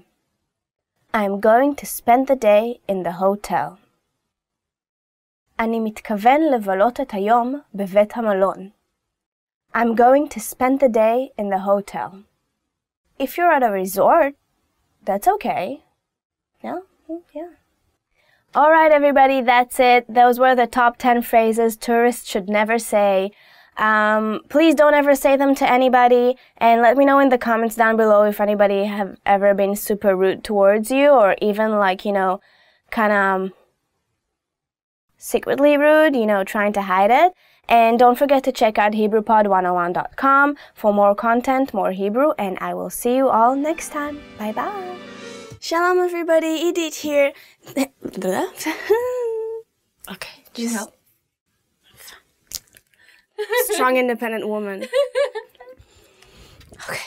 Shalom, everybody. Edith here. Welcome to Hebrew Top Words. Today we are going to talk about your top 10 language learning goals for the year. Let's start. אסיים את סדרת ביטויי ההישרדות ב-HebrewPod101.com על ידי כך שאקשיב לשני שיעורים מדי יום. I'll finish Survival Phrases series on HebrewPod101.com by listening to two lessons a day. So the survival series is pretty much like the most basic things that you need to know if you're going even just to visit Israel, not even if you're just like going to move or do an aliyah. If you're just going to visit, the survival phrases would really help you get around, and that's really important, so do that. אסיים לקרוא ספר בעברית על ידי כך שאקרא עשרה עמודים ביום. I'll finish reading one Hebrew book by reading 10 pages a day. So I think reading 10 pages a day is a pretty realistic goal um, for reading. And it doesn't have to be like a very complicated book or, you know, can get something a little bit more simple. There are a lot of youth books um, in Hebrew as well and youth series. So you can read one of those and reading 10 pages of these a day is not that hard. אעבור את המבחן בעברית. I'll pass my Hebrew test. Yay! Though in here we're not just passing, we're... It should be a perfect score. 100%, right? אבין באופן מוחלט סרט אחד בעברית על ידי כך שאצפה בו כל יום. I'll fully understand one Hebrew movie by watching it every day. Um, well, I guess this one is not for everybody. I'm the kind of person who can watch a movie and then like well now you don't have to rewind anymore but like i'll finish it and then i'll just watch it again directly after like immediately after um, a lot of people like only watch movies once but if you're not that type of person then that could be a good tip for you אזמין אוכל ממסעדה ישראלית בעברית מבלי להתבלבל. I will order food from an Israeli restaurant in Hebrew without getting confused. Um, well, you know, sometimes when you're standing in front of a stranger and you want to talk a foreign language, a language that you're learning, like that's the moment when it really, that's the true test, like standing in front of somebody you don't know and speaking their language. Um, but don't be shy, you know. Heaven knows Israeli people aren't shy about their English or anything else. So just, you know, just do it. And if you get confused, they'll just fix you or you know, maybe they'll move to English because they'll want to practice their English, but you can politely ask to speak Hebrew. אשנן chamisha shirim beivrit. I'll memorize five Hebrew songs.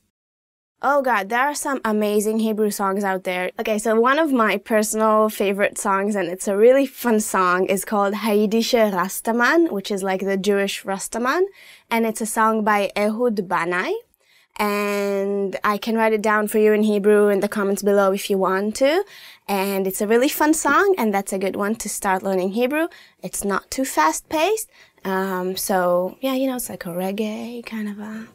Hmm. If you guys want any recommendations, write to me down below and I'll, you know, I'll give you my favorite ones. אסיים לשנן 350 מילים עם כרטיסיות HebrewPod101.com. I'll finish memorizing 350 words with flashcards on HebrewPod101.com. So to me, I think flashcards is a very good way for memorizing. I think for words is especially like words or verbs that's really easy.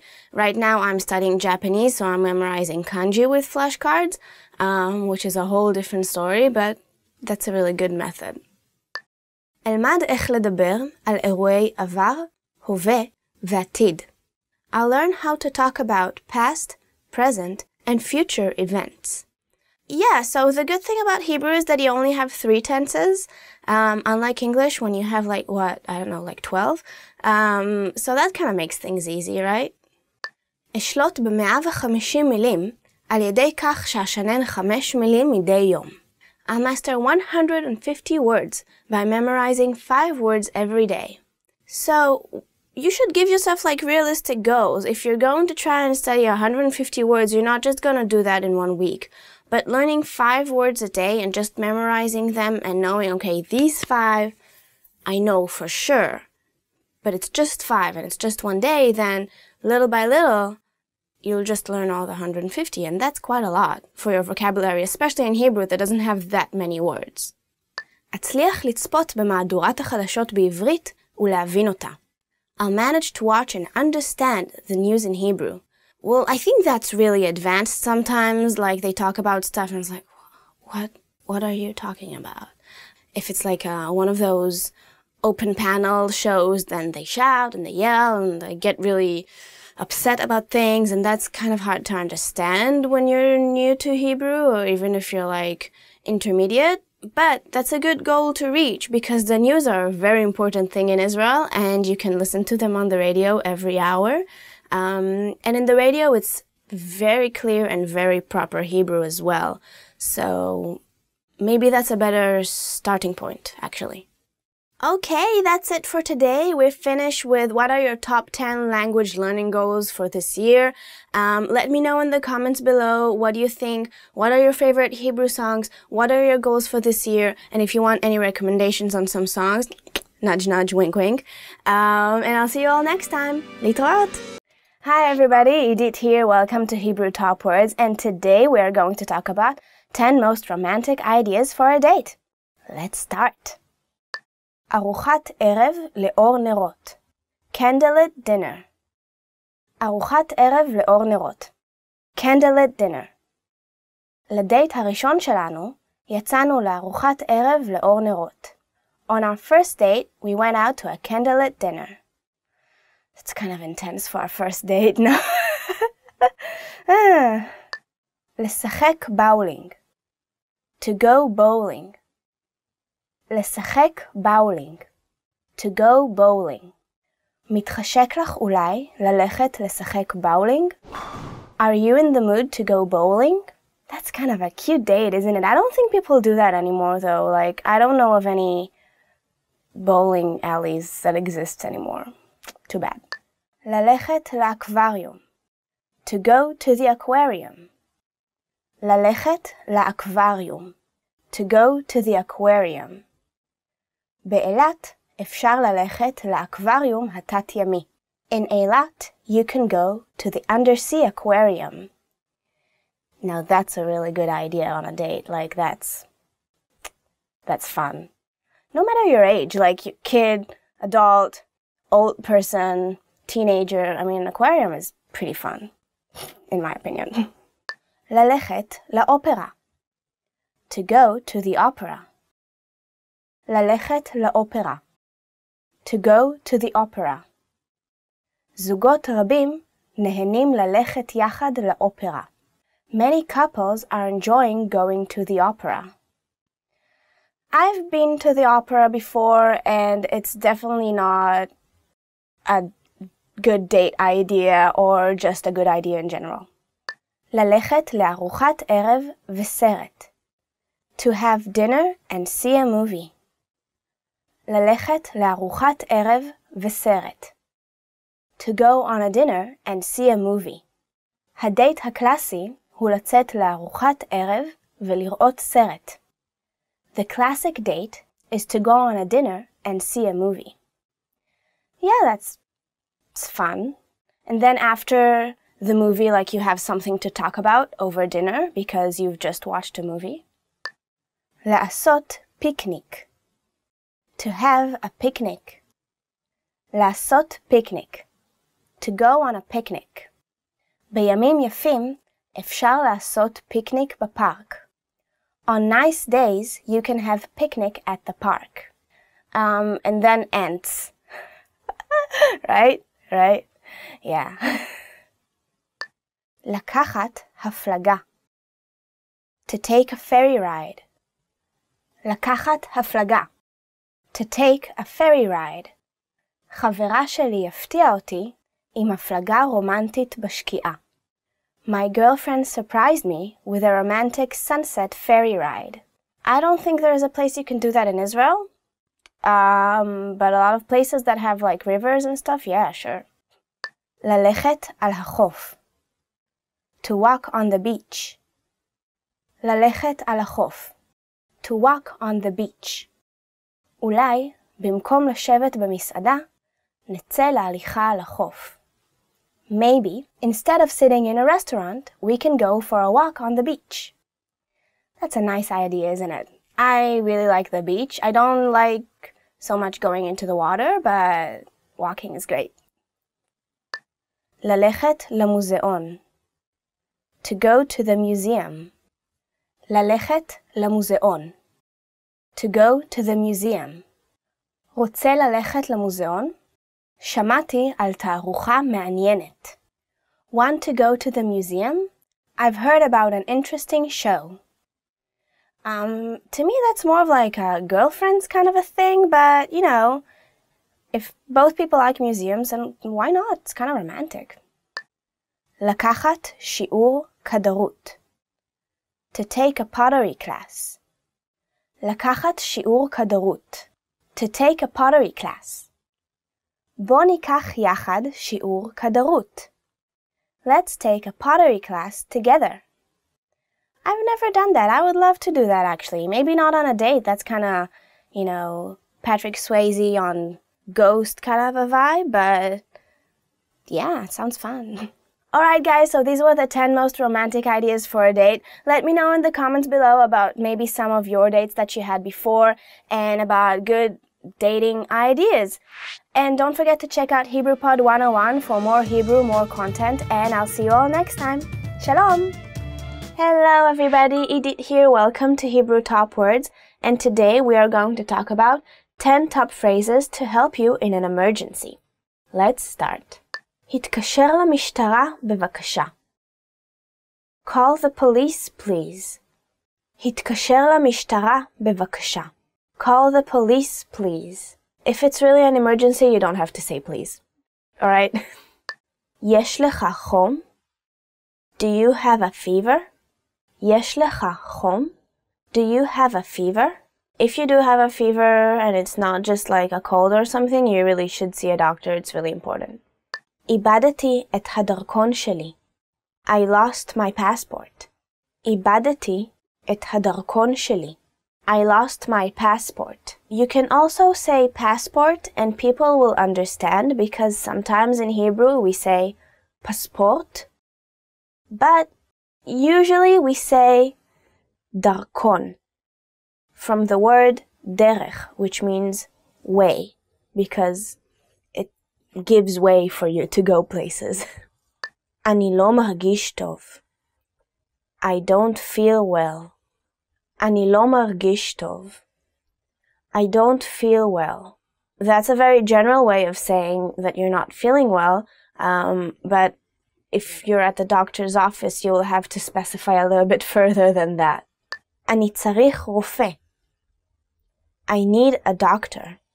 אני צריך רופא. I need a doctor. Doctor in Hebrew is רופא, and if you translate it to English, it basically means like a, a healer, but it's not like the cosmic kind of a healer with the, with the gems and crystals. It's just like that's, that's the meaning of the word. אני לא מצליח למצוא את הדרך חזרה למלון שלי.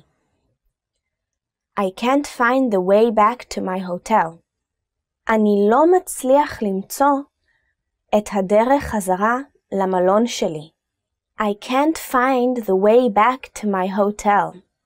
Uh, luckily today most people have smartphones and they have a map application so you know you can ask pretty much anybody to just put the address or the name of the hotel and they can show you how to go so um, that's a big relief. יש בית מרקחת בסביבה? Is there a pharmacy nearby? יש בית מרקחת בסביבה? Is there a pharmacy nearby? In Israel, on Saturdays, usually most pharmacies and any other shops are closed, but there's always one that's supposed to be open um, 24 7.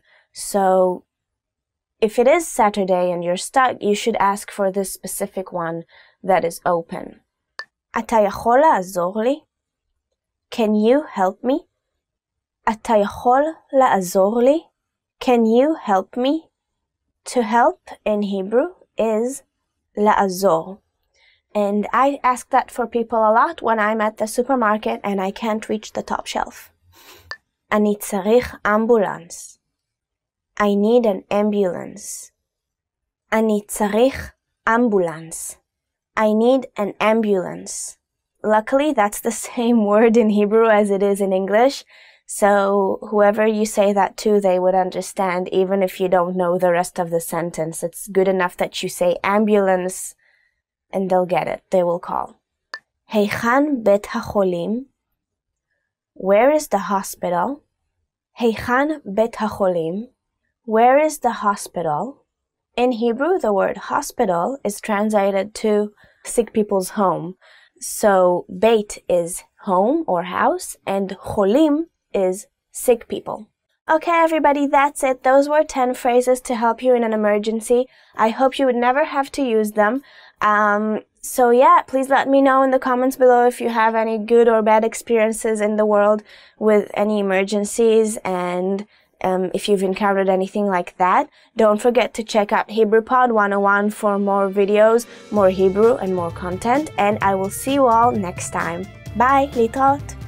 Hello everybody, Dit here, welcome to Hebrew Top Words, and today we are going to talk about five most popular Israeli bands. Let's go! Hadag Nachash Hadag Nahash Hadag Nachash Hadag Nahash Hadag Nachash היא להקת היפ-הופ פופולרית. Hadag Nahash is a popular hip-hop band. Um, so the name is kind of funny. It means the fish snake, the snake, yeah, fish snake. Um, but actually, it's um, it's an acronym. In Israel, when you're a new driver, you have to put a sign on your car that says Nahag Chadash, which means a new driver. So they just took the same letters, mixed them around, and it turned out to be the fish snake. Um, so yeah, that's pretty much it. They like, they really like doing this kind of wordplay, I guess. And talking about cars, one of their most favorite um, songs is called Shirat HaSticker, which is the song of the sticker. A lot of people in Israel put stickers on their um, car bumpers, which express like political views or just any other thing, or it could be like a, you know, a life tip, a life message. And they just, uh, they took all of those stickers that you could see and turned them into a song, which is very political and it's, um, it's quite good. Machina. Machina. Machina, Machina, היא מהלהקות הישראליות האהובות בכל הזמנים. Machina is one of the most loved Israeli bands of all time. Um, Machina means machine in Russian. They are really a very famous group in Israel.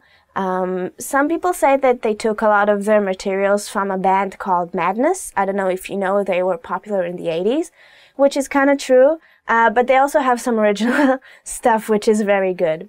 So if you want to look it up, I really recommend it. Monica 6. Monica 6. Monica 6. Monica 6. בלהקת מוניקה סקס, שלושה נגנים. In Monica Sex, there are three members. So as far as I know, the name Monica Sex is referring to Monica Lewinsky and that whole story with Bill Clinton when he said, I did not have sex with that woman. Um, I don't know why they chose this name for their band, but they're definitely a very, very good band, and they were very influential in the 90s rock scene in Israel. So definitely uh, recommended to listen. Kaveret. Kaveret. כוורת. כוורת. מופע האיחוד של כוורת היה מרגש. Kaveret's reunion concert was moving. Kaveret is, I think, probably the most famous one in Israel. They started back in the 60s or 70s, and after they broke the band, each individual uh, member of the band became famous on their own, and I think some of them were already famous before they started the group. Um, so it's really a bunch of really awesome musicians and a few years back, they did a reunion show, um, which was really, really moving for a lot of people because many of us kind of grew up on them, on their soundtracks. So, yeah. Habanot Nechama. Habanot Nehama. Habanot Nechama. Habanot Nehama. היי, רוצה לבוא איתי להופעה של הבנות נחמה? Hi, want to come with me to a Banot Nehama concert? Um, so I think there's a lot of controversy around Habanot Nehama. I'm not really sure why. It's an all-girl group. That's why they are called Habanot, the girls. Um, and the, there are three women. Um, each of them is an individually is a musician by herself. They decided to get, come together and do this project. I think they're pretty good but maybe they take some getting used to their music because it can be a little bit monotonous.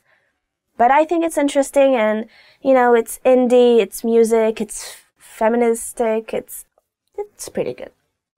Okay, everybody, that's it. Those are five most popular Israeli brands. Let me know in the comments below if there is an Israeli band or artist that you like, if you already know some music. And also, please um, keep on exploring Israeli music. I think that's awesome. Don't forget to check out HebrewPod 101 for more Hebrew, more content, and I will see you all next time. Bye bye, להתראות. הנחה נוספת אם נזמין ביום חול. יום חול? ובכן, יש לי פגישה ביום שני בבוקר, והתצוגה ביום שלישי ורביעי, אז... יום שישי יכול להתאים, כי נוכל לסדר את הבית החדש בסוף השבוע. כן. אה, רגע. הם כותבים 15% בימים שני עד חמישי, ו-5% ביום שישי. אה, אז מה את רוצה לעשות?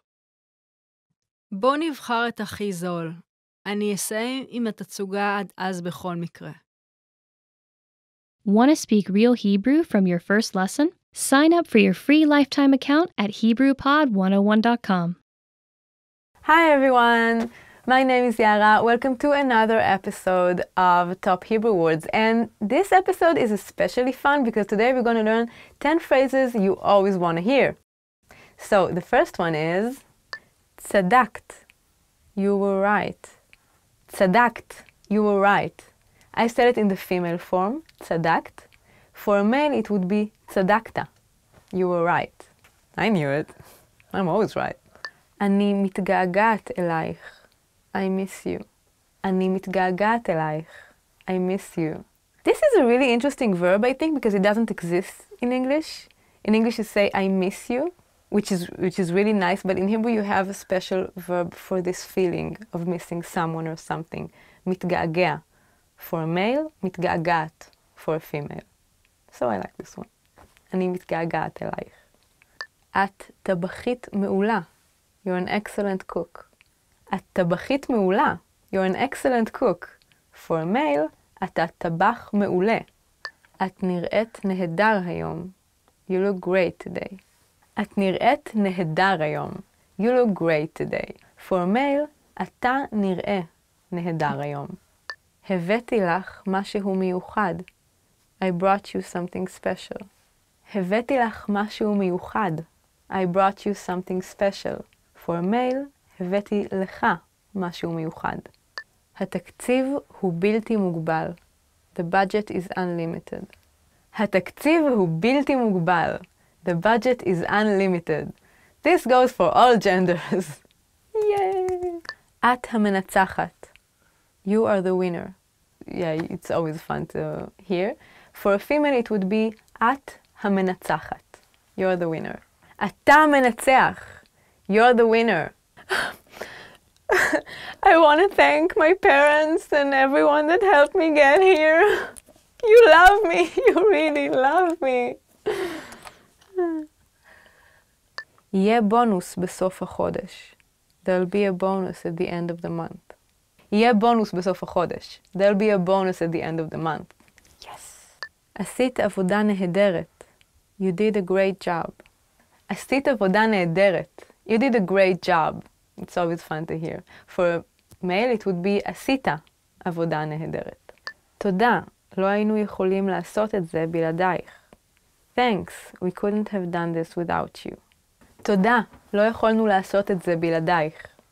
Thanks, we couldn't have done this without you. For male, בלעדיך.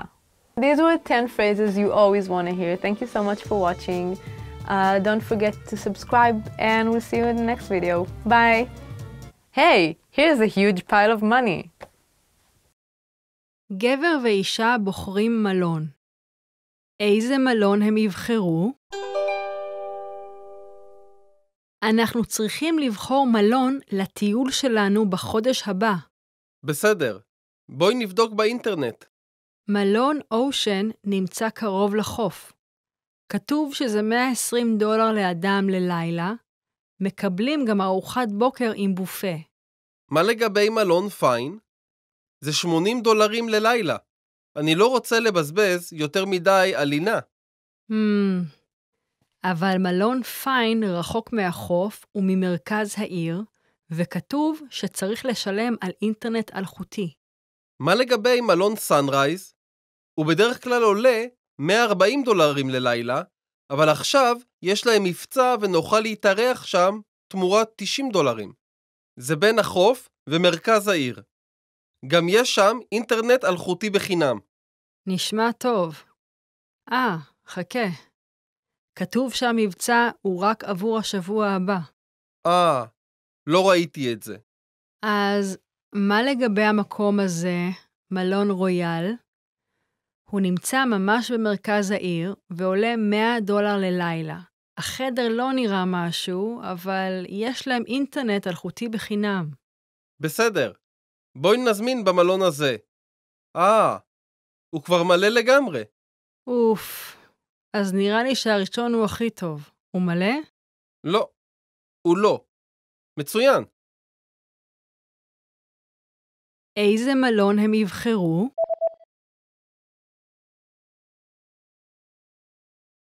גבר ואישה בוחרים מלון. איזה מלון הם יבחרו? אנחנו צריכים לבחור מלון לטיול שלנו בחודש הבא. בסדר. בואי נבדוק באינטרנט. מלון אושן נמצא קרוב לחוף.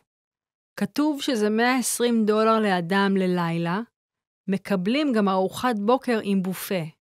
מה לגבי מלון פיין? זה 80 דולרים ללילה.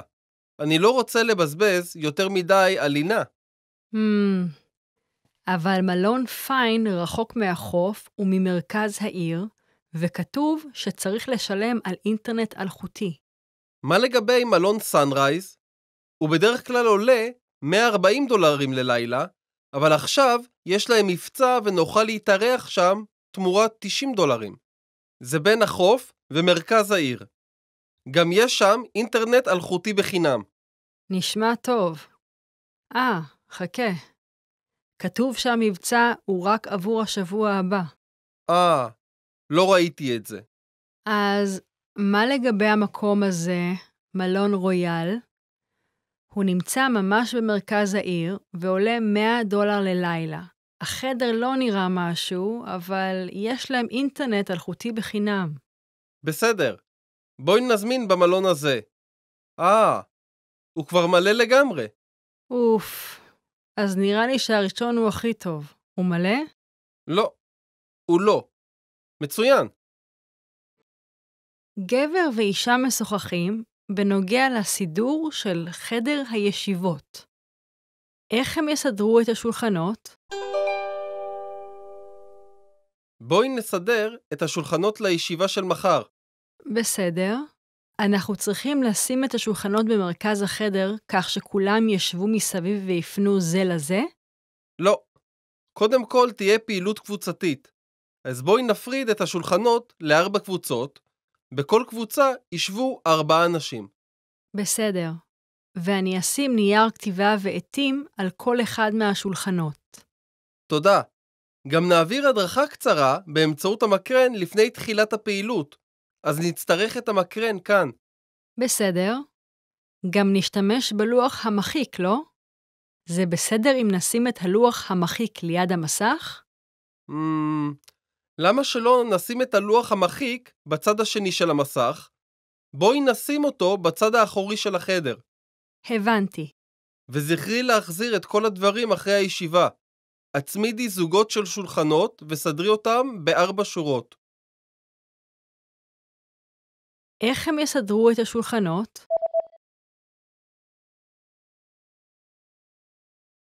גבר ואישה משוחחים בנוגע לסידור של חדר הישיבות. איך הם יסדרו את השולחנות? בואי נסדר את השולחנות לישיבה של מחר. בסדר. אנחנו צריכים לשים את השולחנות במרכז החדר כך שכולם ישבו מסביב ויפנו זה לזה? לא. קודם כל תהיה פעילות קבוצתית. אז בואי נפריד את השולחנות לארבע קבוצות. בכל קבוצה ישבו ארבעה אנשים. בסדר. ואני אשים נייר כתיבה ועטים על כל אחד מהשולחנות. תודה. גם נעביר הדרכה קצרה באמצעות המקרן לפני תחילת הפעילות, אז נצטרך את המקרן כאן. בסדר. גם נשתמש בלוח המחיק, לא? זה בסדר אם נשים את הלוח המחיק ליד המסך? Mm, למה שלא נשים את הלוח המחיק בצד השני של המסך? בואי נשים אותו בצד האחורי של החדר. הבנתי. וזכרי להחזיר את כל הדברים אחרי הישיבה. הצמידי זוגות של שולחנות וסדרי אותם בארבע שורות. גבר ואישה משוחחים על ציוד משרדי. מה יזמין הגבר? אתה צריך לבדוק את מלאי הציוד המשרדי שלנו ולהזמין את הפריטים הנדרשים פעם בחודש. הפעם, בוא נבדוק אותו יחד עם הרשימה הזו. תודה. אז בואי נתחיל עם הנייר. נראה שנשארה רק קופסה אחת. אנחנו משתמשים בהרבה נייר בכל יום, אז בוא נזמין עוד שתי קופסאות. בסדר. הדיו צבעוני במדפסת נגמר. שנזמין עוד? אה, זו לא בעיה, כי אנחנו לא מדפיסים מסמכים בצבע. אה, לא? טוב. נראה שחסר דיו בחלק מהטושים ללוח המחיק. כן, צריך להחליף אותם. אנחנו מקבלים הנחה בהזמנת סט של חמישה טושים, אז בואו נעשה את זה. בסדר. אה, אנחנו יכולים להזמין עכבר באותה הזדמנות? העכבר שלי מגיב ממש לאט. אני חושבת שזה בגלל שהסוללה כמעט ריקה. בואו נבדוק את מלאי הסוללות ונזמין עוד אם לא נותרו הרבה. כמובן. ובכן, יש לנו כאן שלוש סוללות. אתה יכול לקחת שתיים בשביל העכבר שלך, אבל תקנה חבילה של שש סוללות כדי להחליף אותן. מה יזמין הגבר?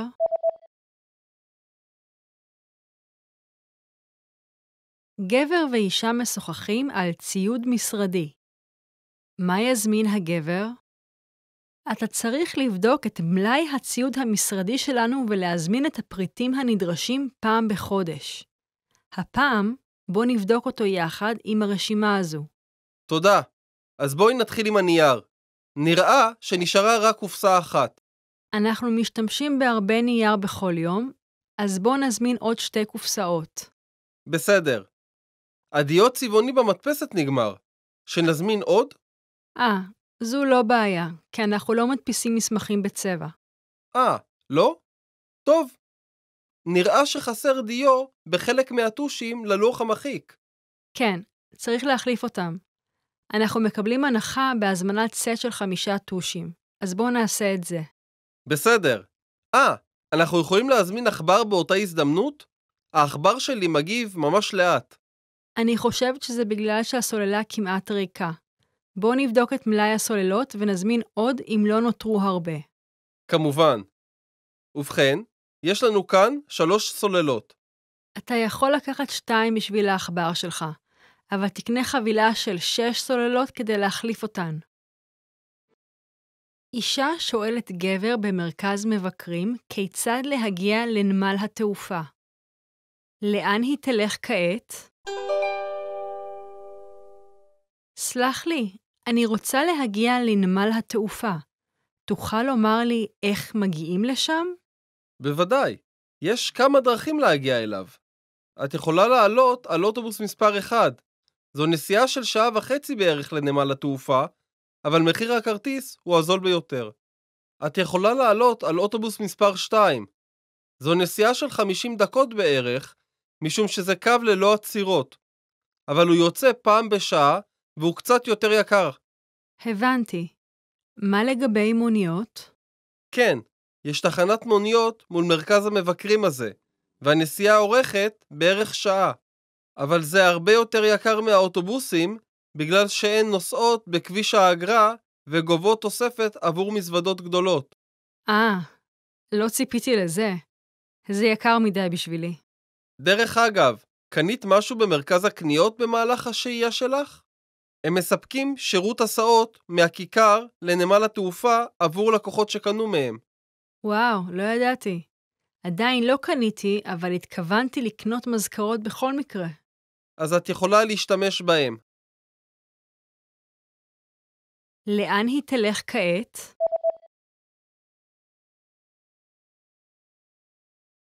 אישה שואלת גבר במרכז מבקרים כיצד להגיע לנמל התעופה. לאן היא תלך כעת? סלח לי, אני רוצה להגיע לנמל התעופה. תוכל לומר לי איך מגיעים לשם? בוודאי. יש כמה דרכים להגיע אליו. את יכולה לעלות על אוטובוס מספר 1. זו נסיעה של שעה וחצי בערך לנמל התעופה, אבל מחיר הכרטיס הוא הזול ביותר. את יכולה לעלות על אוטובוס מספר 2. זו נסיעה של 50 דקות בערך, משום שזה קו ללא עצירות, אבל הוא יוצא פעם בשעה והוא קצת יותר יקר. הבנתי. מה לגבי מוניות?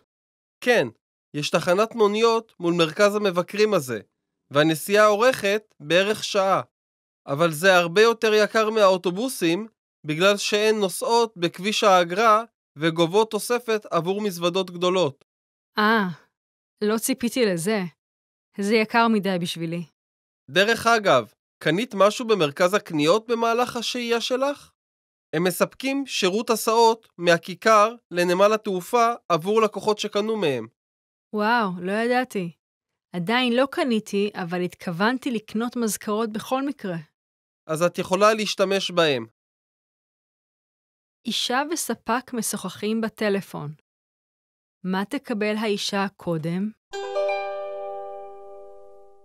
אני צריכה שתייצרו ותשלחו לי עוד סוודרים עבור המבצע בחודש הבא. בסדר, מה בדיוק את צריכה?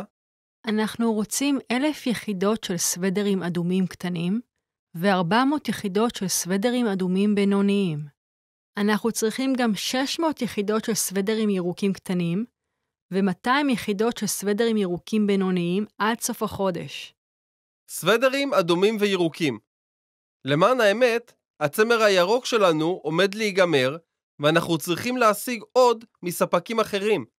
נייצר קודם כל את הסוודרים האדומים. לא, לא, לא. אנחנו חייבים למסור את הסוודרים האדומים והירוקים ביחד. אז בבקשה תייצרו כמה סוודרים ירוקים שתוכלו. בסדר, אני חושב שאנחנו יכולים לייצר 200 יחידות של סוודרים ירוקים עכשיו. איזה גודל את צריכה קודם? אנחנו צריכים את הקטנים קודם. סליחה על ההתראה הקצרה, אבל אנחנו ממש זקוקים לעזרה שלכם. בסדר גמור. נעשה כמיטב יכולתנו. נשלח את הסוודרים הירוקים האלה ואת כל הסוודרים האדומים. מה תקבל האישה קודם?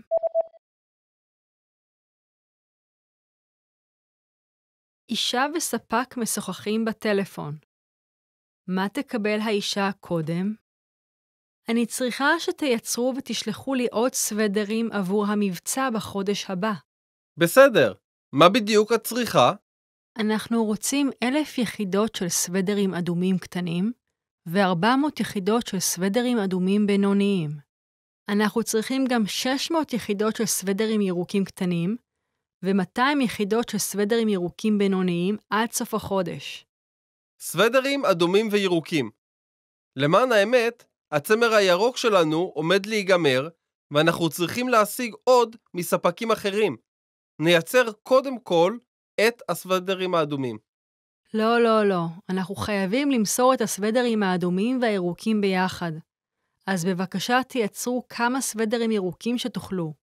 בסדר, אני חושב שאנחנו יכולים לייצר 200 יחידות של סוודרים ירוקים עכשיו. איזה גודל את צריכה קודם?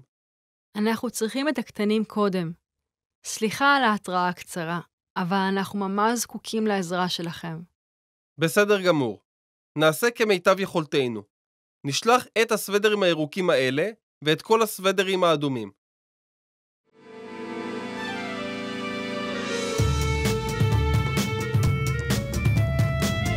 Hi, welcome to Introduction to Hebrew. My name is Alisha, and I'm joined by... Hi everyone, I'm Edith. In this series, you'll learn everything you need to know to get started learning Hebrew. That's right, and we're here to help guide you through your journey.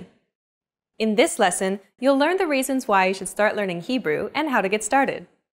Let's begin with the most obvious question Why learn a new language? There are countless reasons, but perhaps the biggest one of all is that it could actually change your life. Learning a new language unlocks new pathways that are off limits to you now.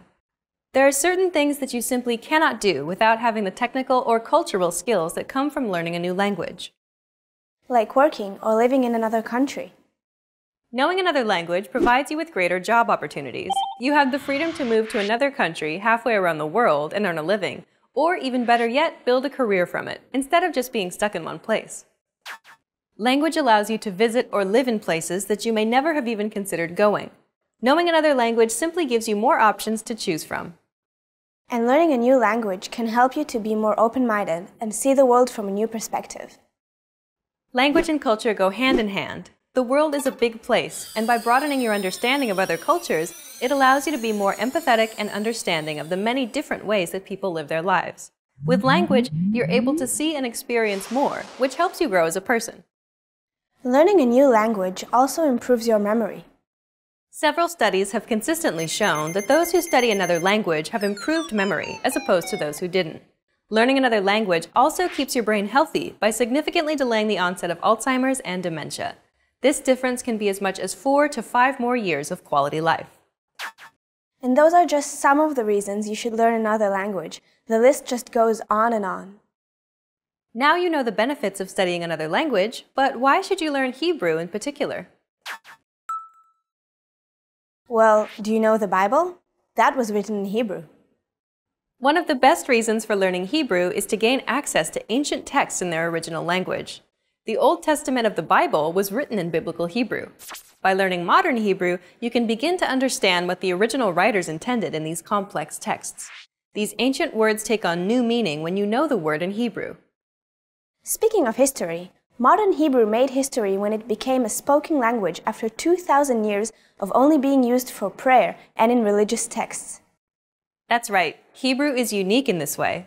In the late 1800s and the early 1900s, a man called Eliezer ben Yehuda worked hard to revive Hebrew as a spoken language. By learning Hebrew, you can be a part of this unique movement of history. Today, Israel is a leader in the area of high tech industry. And this means there are many jobs and business opportunities in tech in Israel. Although most Israelis speak English, learning Hebrew will help you communicate in an effective way with Israelis. There are many times knowing the language and culture of Israel will give you an advantage when making a business deal or finding work in Israel. Another reason to learn Hebrew is to better understand politics in the region. There is quite a lot going on in the Middle East right now. Learning Hebrew will help you understand Israeli politics and perspective. You'll be able to read Israeli newspapers and watch Israeli news and learn about this intense region in a new way. There are so many reasons to learn Hebrew. Okay, then. We've talked about why you should start learning a language and why you should start learning Hebrew, but how should they get started, Edith? Well, it's as simple as learning your first word in Hebrew and building up from there. The good news is that you already know some Hebrew. Hallelujah, chutzpah, hummus. These are words that have made their way into English, but the reverse is also true. Many English words have also made their way into Hebrew. In fact, for many modern technologies, like telephone or television, the word most often used in Hebrew is derived from English. Telephone, televizia, autobus. So there are many words you already know in Hebrew. Let's teach you something that you might not know, but is very useful. Toda. It means thank you in Hebrew. That's a useful phrase. Can you tell us more about these characters, though? Sure. In Hebrew, you use the Hebrew alphabet. Once you learn the letters and their sounds, it's actually pretty easy to read. Most letters in Hebrew represent a consonant sound, but we also use a system of dots to represent vowels. These vowel dots are called nikud. When you're learning to read, you read texts with the vowel dots. As you get better, you read the letters without the dots. Isn't that a little confusing? No, it's actually easier than it looks. Hebrew is a systematic language, and the vowel sounds will be clear from the structure of the word. This is Toda with the vowel dots, Toda. And this is Toda without the vowel dots, Toda. You'll learn the Hebrew writing system eventually, but for now, let's put up some romanization to help you get started. The romanization will make it easier for you to learn Hebrew until you learn to read the letters yourself. That certainly makes things much easier to learn. Well, okay then. Now listen and repeat after Edith. Toda, Now you try. Toda, Your turn again. Toda. Well done. Now you know how to say thank you in Hebrew. We've covered a lot of things already, so why don't we wrap up the first lesson and recap what we've learned? In this lesson, you learned that studying another language has many benefits, such as providing new job and business opportunities. The Hebrew language has a unique history, and learning Hebrew will open up a new aspect of history for you. And to say thank you in Hebrew, it's Toda. in this lesson, you'll learn the basics of Hebrew pronunciation. Pronunciation refers to the manner in which a word is spoken, so don't focus on reading what's on screen. Instead, focus on listening and repeating. In Hebrew, there are only 22 letters of the alphabet, and technically they're all consonants. There are also vowel sounds which are shown by the dot system called nikud. Many of the sounds are similar to English, like b, v, sh, s, and t. b, v, sh, s, t, But there are a few sounds you may not recognize at first. like ch, ts. In Hebrew, words are stressed differently than in English. Stress is usually on the last syllable of the word. עבודה, מוצץ, מתלבש, But in some cases, the stress is on the second to last syllable of the word. לקוח, נוסע, מתלבשת. Letters produce consonant sounds. These sounds are combined with vowel sounds indicated by the nikud. Vowel sounds you find in Hebrew are all found in English as well. A, E, I, O, U. There are different notations for these vowels, but in most cases, the basic vowel sound stays the same. The pattern of the word and the placement of the vowel determines which vowel symbol will be used. For example, the word for language, lashon, and the word for crisis, mashber, both have a vowels after the first letter. But because of the way the word is constructed, the vowels are notated differently. Some letters have two sounds, depending on if there's a stress on the consonant or not. Bet is both b and v. Kaf is both k and ch. Pei is both p and f. There is also one other letter that changes sound according to the dot above it. That's shin and sin. It makes the sh sound when the dot is on the right, and the s sound when the dot is on the left. The most daunting group of letters are the guttural letters. A, h, ch, a, r. Three of these letters are pronounced deep in the throat.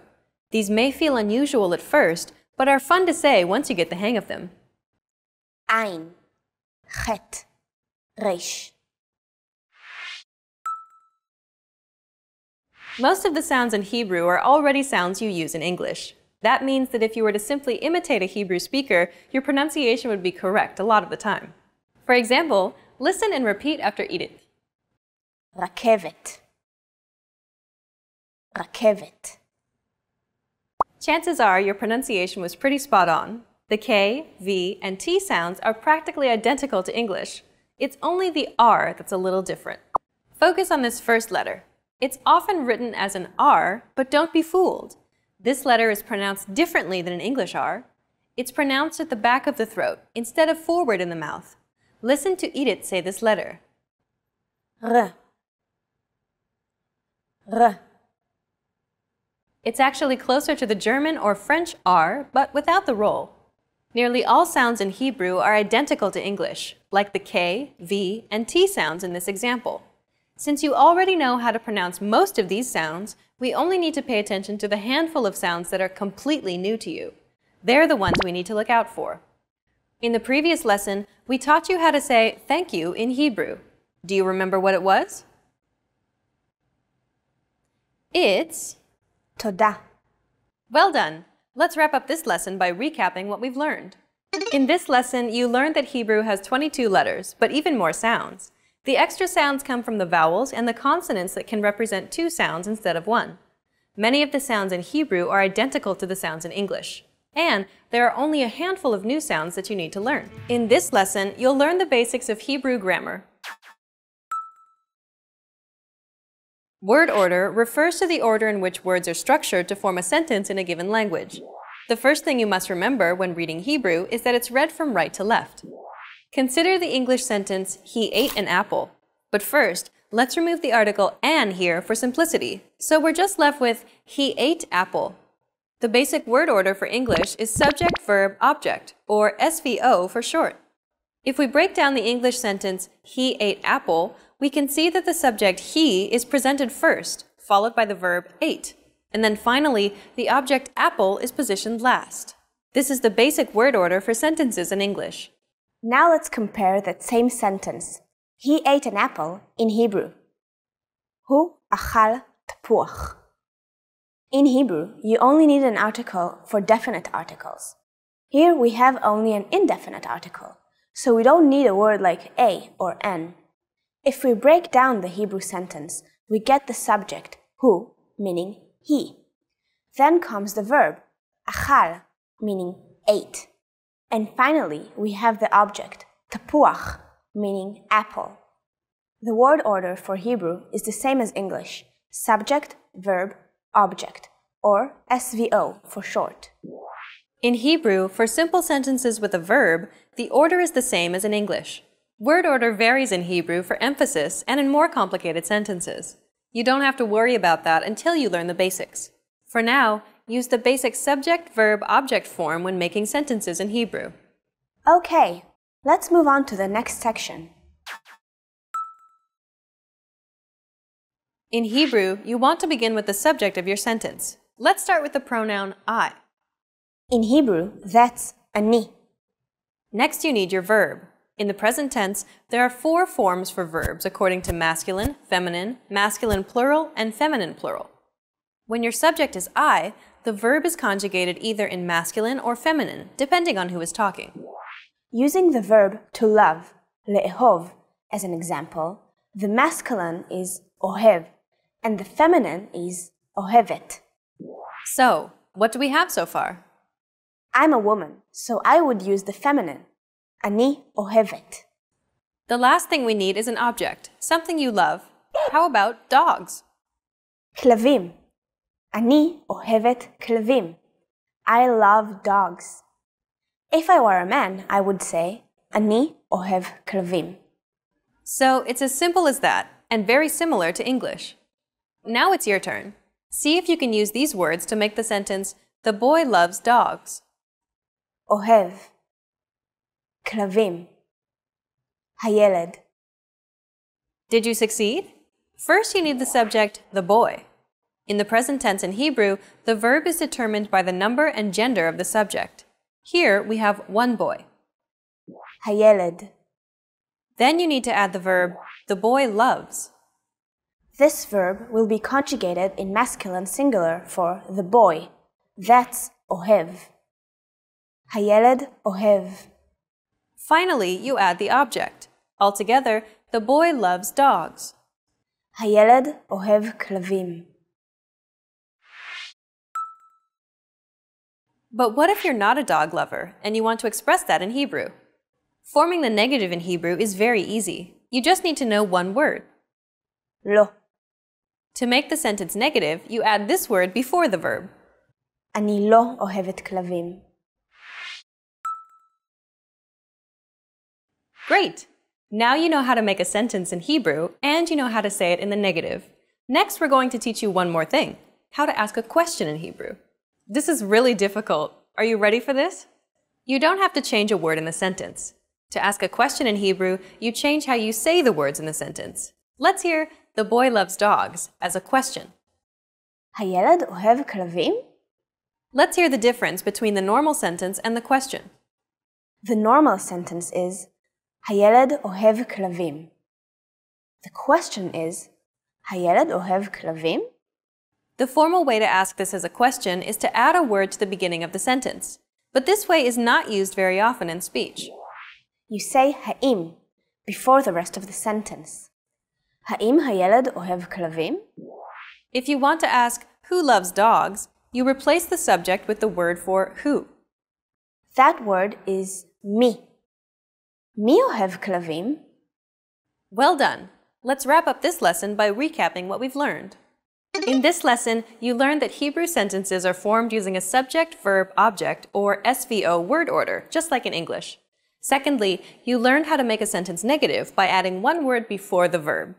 Lastly, you learned that asking questions in Hebrew is easy because you only have to change the way you say the sentence to ask a question. In this lesson, you'll learn the basics of Hebrew writing, In Hebrew, we use two different scripts, one for print and one for handwriting. Most people learn the printed script first, and even learn to write their letters this way. These are called otiyot dfus. Printed letters are rarely used for handwriting other than in elementary school, so most people learn script letters very quickly after learning the printed letters. Script letters are called otiyot ktav. One thing you don't have to worry about in Hebrew is capital letters. There's only one case for letters in Hebrew. Here's some general information about Hebrew letters. Hebrew is read right to left, the opposite of English. There are 22 letters in the Hebrew alphabet, and they are all consonants. You may be thinking, but what about vowels, right? These dots are placed underneath or next to the letter in order to let you know what vowel comes after the consonant. Here is the word for dog, kelev, without nikud. And here it is with nikud. Let's do the same with the word for boy, yeled. Without nikud, it's and with nikud, it looks like this. Those are both with eh vowels. Let's look at one with some other vowels. How about the word for mountains, harim? Here it is with nikud. This has both an a vowel and an e vowel. Although this is very useful when you're learning Hebrew, don't get used to it. Most things in Hebrew are written without the vowel dots. The reason we usually don't use nikud when writing Hebrew is that we don't really need it. That's right. Hebrew is very systematic and structured. It's very methodical and logical. Words are created according to patterns, and this helps you figure out what vowels are used in the words. You already know the word for dog, which is kelev. Next time you see this word, you don't need to see the vowels because you know they are there. You'll have to rely on what you've learned. There are some letters in Hebrew that will indicate what vowels are present. These letters are technically consonants, but can behave like vowels. Aleph, Hey, Vav, Yud, Ein. For example, the letter Hey often ends a word with an A or an E sound, like in the words Laila for night and bonnet, the masculine singular form for build. There are five letters that change form when they're at the end of a word, but they're still the same letter. Chaf, Chaf sofit. Mem, Mem sofit. Nun, Nun sofit. Pei, Pei sofit. Tzadi, Tzadi sofit. Here's an example of how this works. The letter mem looks like this in the beginning or middle of the word. Mem. Like in the word for stage, bama. When it comes in the end, it looks like this. Mem. Like in the word for the sea, yam. Three letters can have two different sounds depending on whether they are in a stressed position or not. Bet is both b and v. In the word bama, or stage, it makes a b sound, and in the word for dog, or kelev, it makes a v sound. Chaf is both k and ch. For this example, we can use the word for dog again. In kelev, this letter makes a k sound. And in the word for correct, which is nchon, it makes a ch sound. This letter also has a special end form that looks like this. When it comes at the end of the word, like chiyuch, the word for smile, it's always pronounced ch. Pei is both p and f. In the word parpar, or butterfly, this letter is pronounced with a p sound. In the word for book, or sefer, it's pronounced with a f sound. There are also six pairs of letters that at one point in history had different sounds, but today sound very similar. Aleph and Ein, Bet and Vav, Chet and Chaf, Tet and Taf, Kaf and Kuf, Samech and Sin. For example, the words telephone, meaning telephone, and tshuva, meaning answer, begin with two different letters of the alphabet, but you would never know that unless you saw them written. One interesting aspect of the Hebrew alphabet is the letters also represent numbers. Aleph represents the number 1. Bet represents the number 2, and so on. When you get to the number 10, or Yud, we add the first nine letters to it to represent 11 through 19. The letters can be combined to create numbers into the hundreds and thousands. You can find the first 10 letters used as numbers in many day-to-day -day contexts. For instance, Sunday is often referred to as Yom Aleph, or Day 1. The first semester in university is called Semester Aleph. Okay, let's wrap up this lesson by recapping what we've learned. In this lesson, you learned that there are two different scripts used to write Hebrew, printed script and written script. Hebrew is written and read from right to left. All 22 letters of the Hebrew alphabet are consonants. There are also vowels in Hebrew, and these are written with a dot system. Some letters in Hebrew cover two sounds, and other sounds are covered by two letters. And lastly, the Hebrew alphabet can also be used to represent numbers. In this lesson, we'll focus on teaching you the most useful Hebrew words and phrases for absolute beginners. Make sure you're repeating the words out loud after I say the examples. Are you ready? Let's get started. The best phrase to learn when studying a new language is one that expresses gratitude and appreciation. If you had to learn only a single phrase, this would be it. We taught you this phrase in the first lesson of this series. Do you remember what it was? Toda. It means thank you. Keep repeating after Edith until you get it. Toda. Your turn. Toda. Toda. But what if you want to express even greater thanks, like in English when you say thank you very much? Then you would add a rabba after the toda. Altogether, it's Toda rabba. The next phrase we'll teach you is perhaps the second most useful phrase of all. It's to apologize or to excuse yourself. Slicha. It means excuse me or I'm sorry. Slicha. Use this phrase when you want to grab a waiter's attention or when you're hustling through the busy streets of Tel Aviv. Slicha. Your turn. Slicha. Imagine you're on the street and you want to stop someone to ask them for directions. What do you say? Slicha. Okay, one last time. Slicha. Now you can say thank you, thank you very much, excuse me, and I'm sorry in Hebrew. Let's move on. Asking where something is is an incredibly important and useful phrase to learn. You're going to need this when asking where the bathroom, the train station, or where the hotel is. To ask where something is, put the Hebrew word for where first, and then add the place you want to find. Eifo. That's Hebrew for where. For example, if you want to ask, where is the bathroom? איפה השירותים? For the train station, it'll be, איפה תחנת הרכבת? and so on. You can ask where something is by starting with, איפה? you might have noticed that this sentence is a few words shorter than the English equivalent. Well, that's because in Hebrew we don't have a word for is, and the word for the is connected to the noun. So in the sentence, a team, you're actually saying, where the bathroom? So that makes it a little simpler.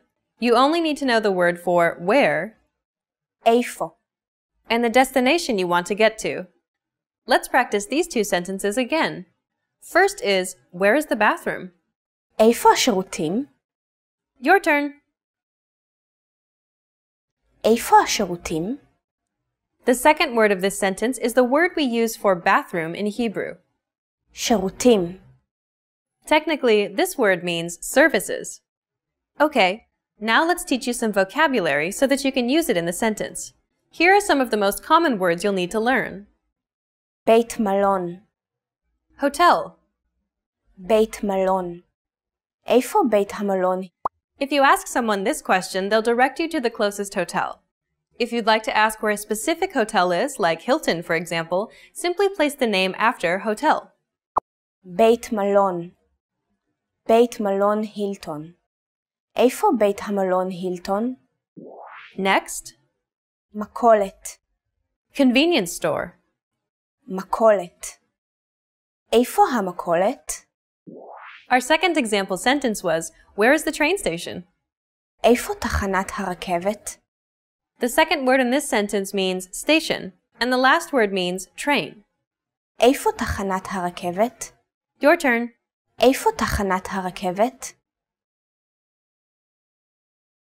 You can substitute almost anything and simply start with to ask where something is in Hebrew. In this final lesson, you learned how to say thank you, excuse me, I'm sorry, and how to ask where something is in Hebrew. And in this series, we introduce you to the basics of Hebrew pronunciation, grammar, writing, and more. Let's conclude with some parting advice from Edith. Listen to some of her tips on how to learn Hebrew from a native Hebrew speaker's perspective.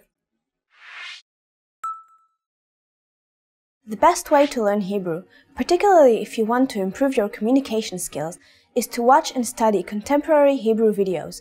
That's because we often use expressions in daily conversations that aren't necessarily introduced in grammar textbooks. The biggest mistake that I see learners make is stressing too much about making the guttural letter sounds. They may sound funny to you in the beginning, but if you loosen your mouth and just go with the flow, you'll learn that it's actually fun to make these sounds. Watching contemporary videos, such as our videos here at HebrewPod101.com, will ensure that you're learning real, applicable Hebrew in the fastest and most effective way, and you'll be able to perfect the sounds of Hebrew by repeating after us in the videos.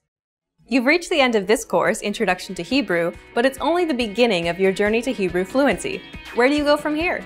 Try our Hebrew in 3 Minutes series, where we teach you basic grammar and even more useful phrases.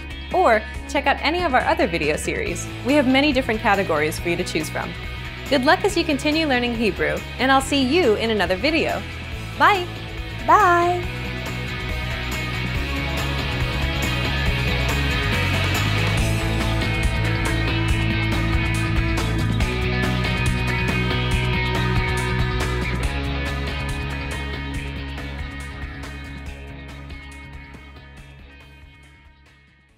Remember, here's what you can do to learn all of these words by heart. Drill these words with our spaced repetition flashcards, which will help cement these words into your long-term memory. Save them to the Word Bank, your personal vocabulary collection where you can print out your own study sheets, or review the words with our looped vocabulary slideshow and play it until you know all of the words. So click the link in the description right now and sign up for your free lifetime account to get these lessons and study tools.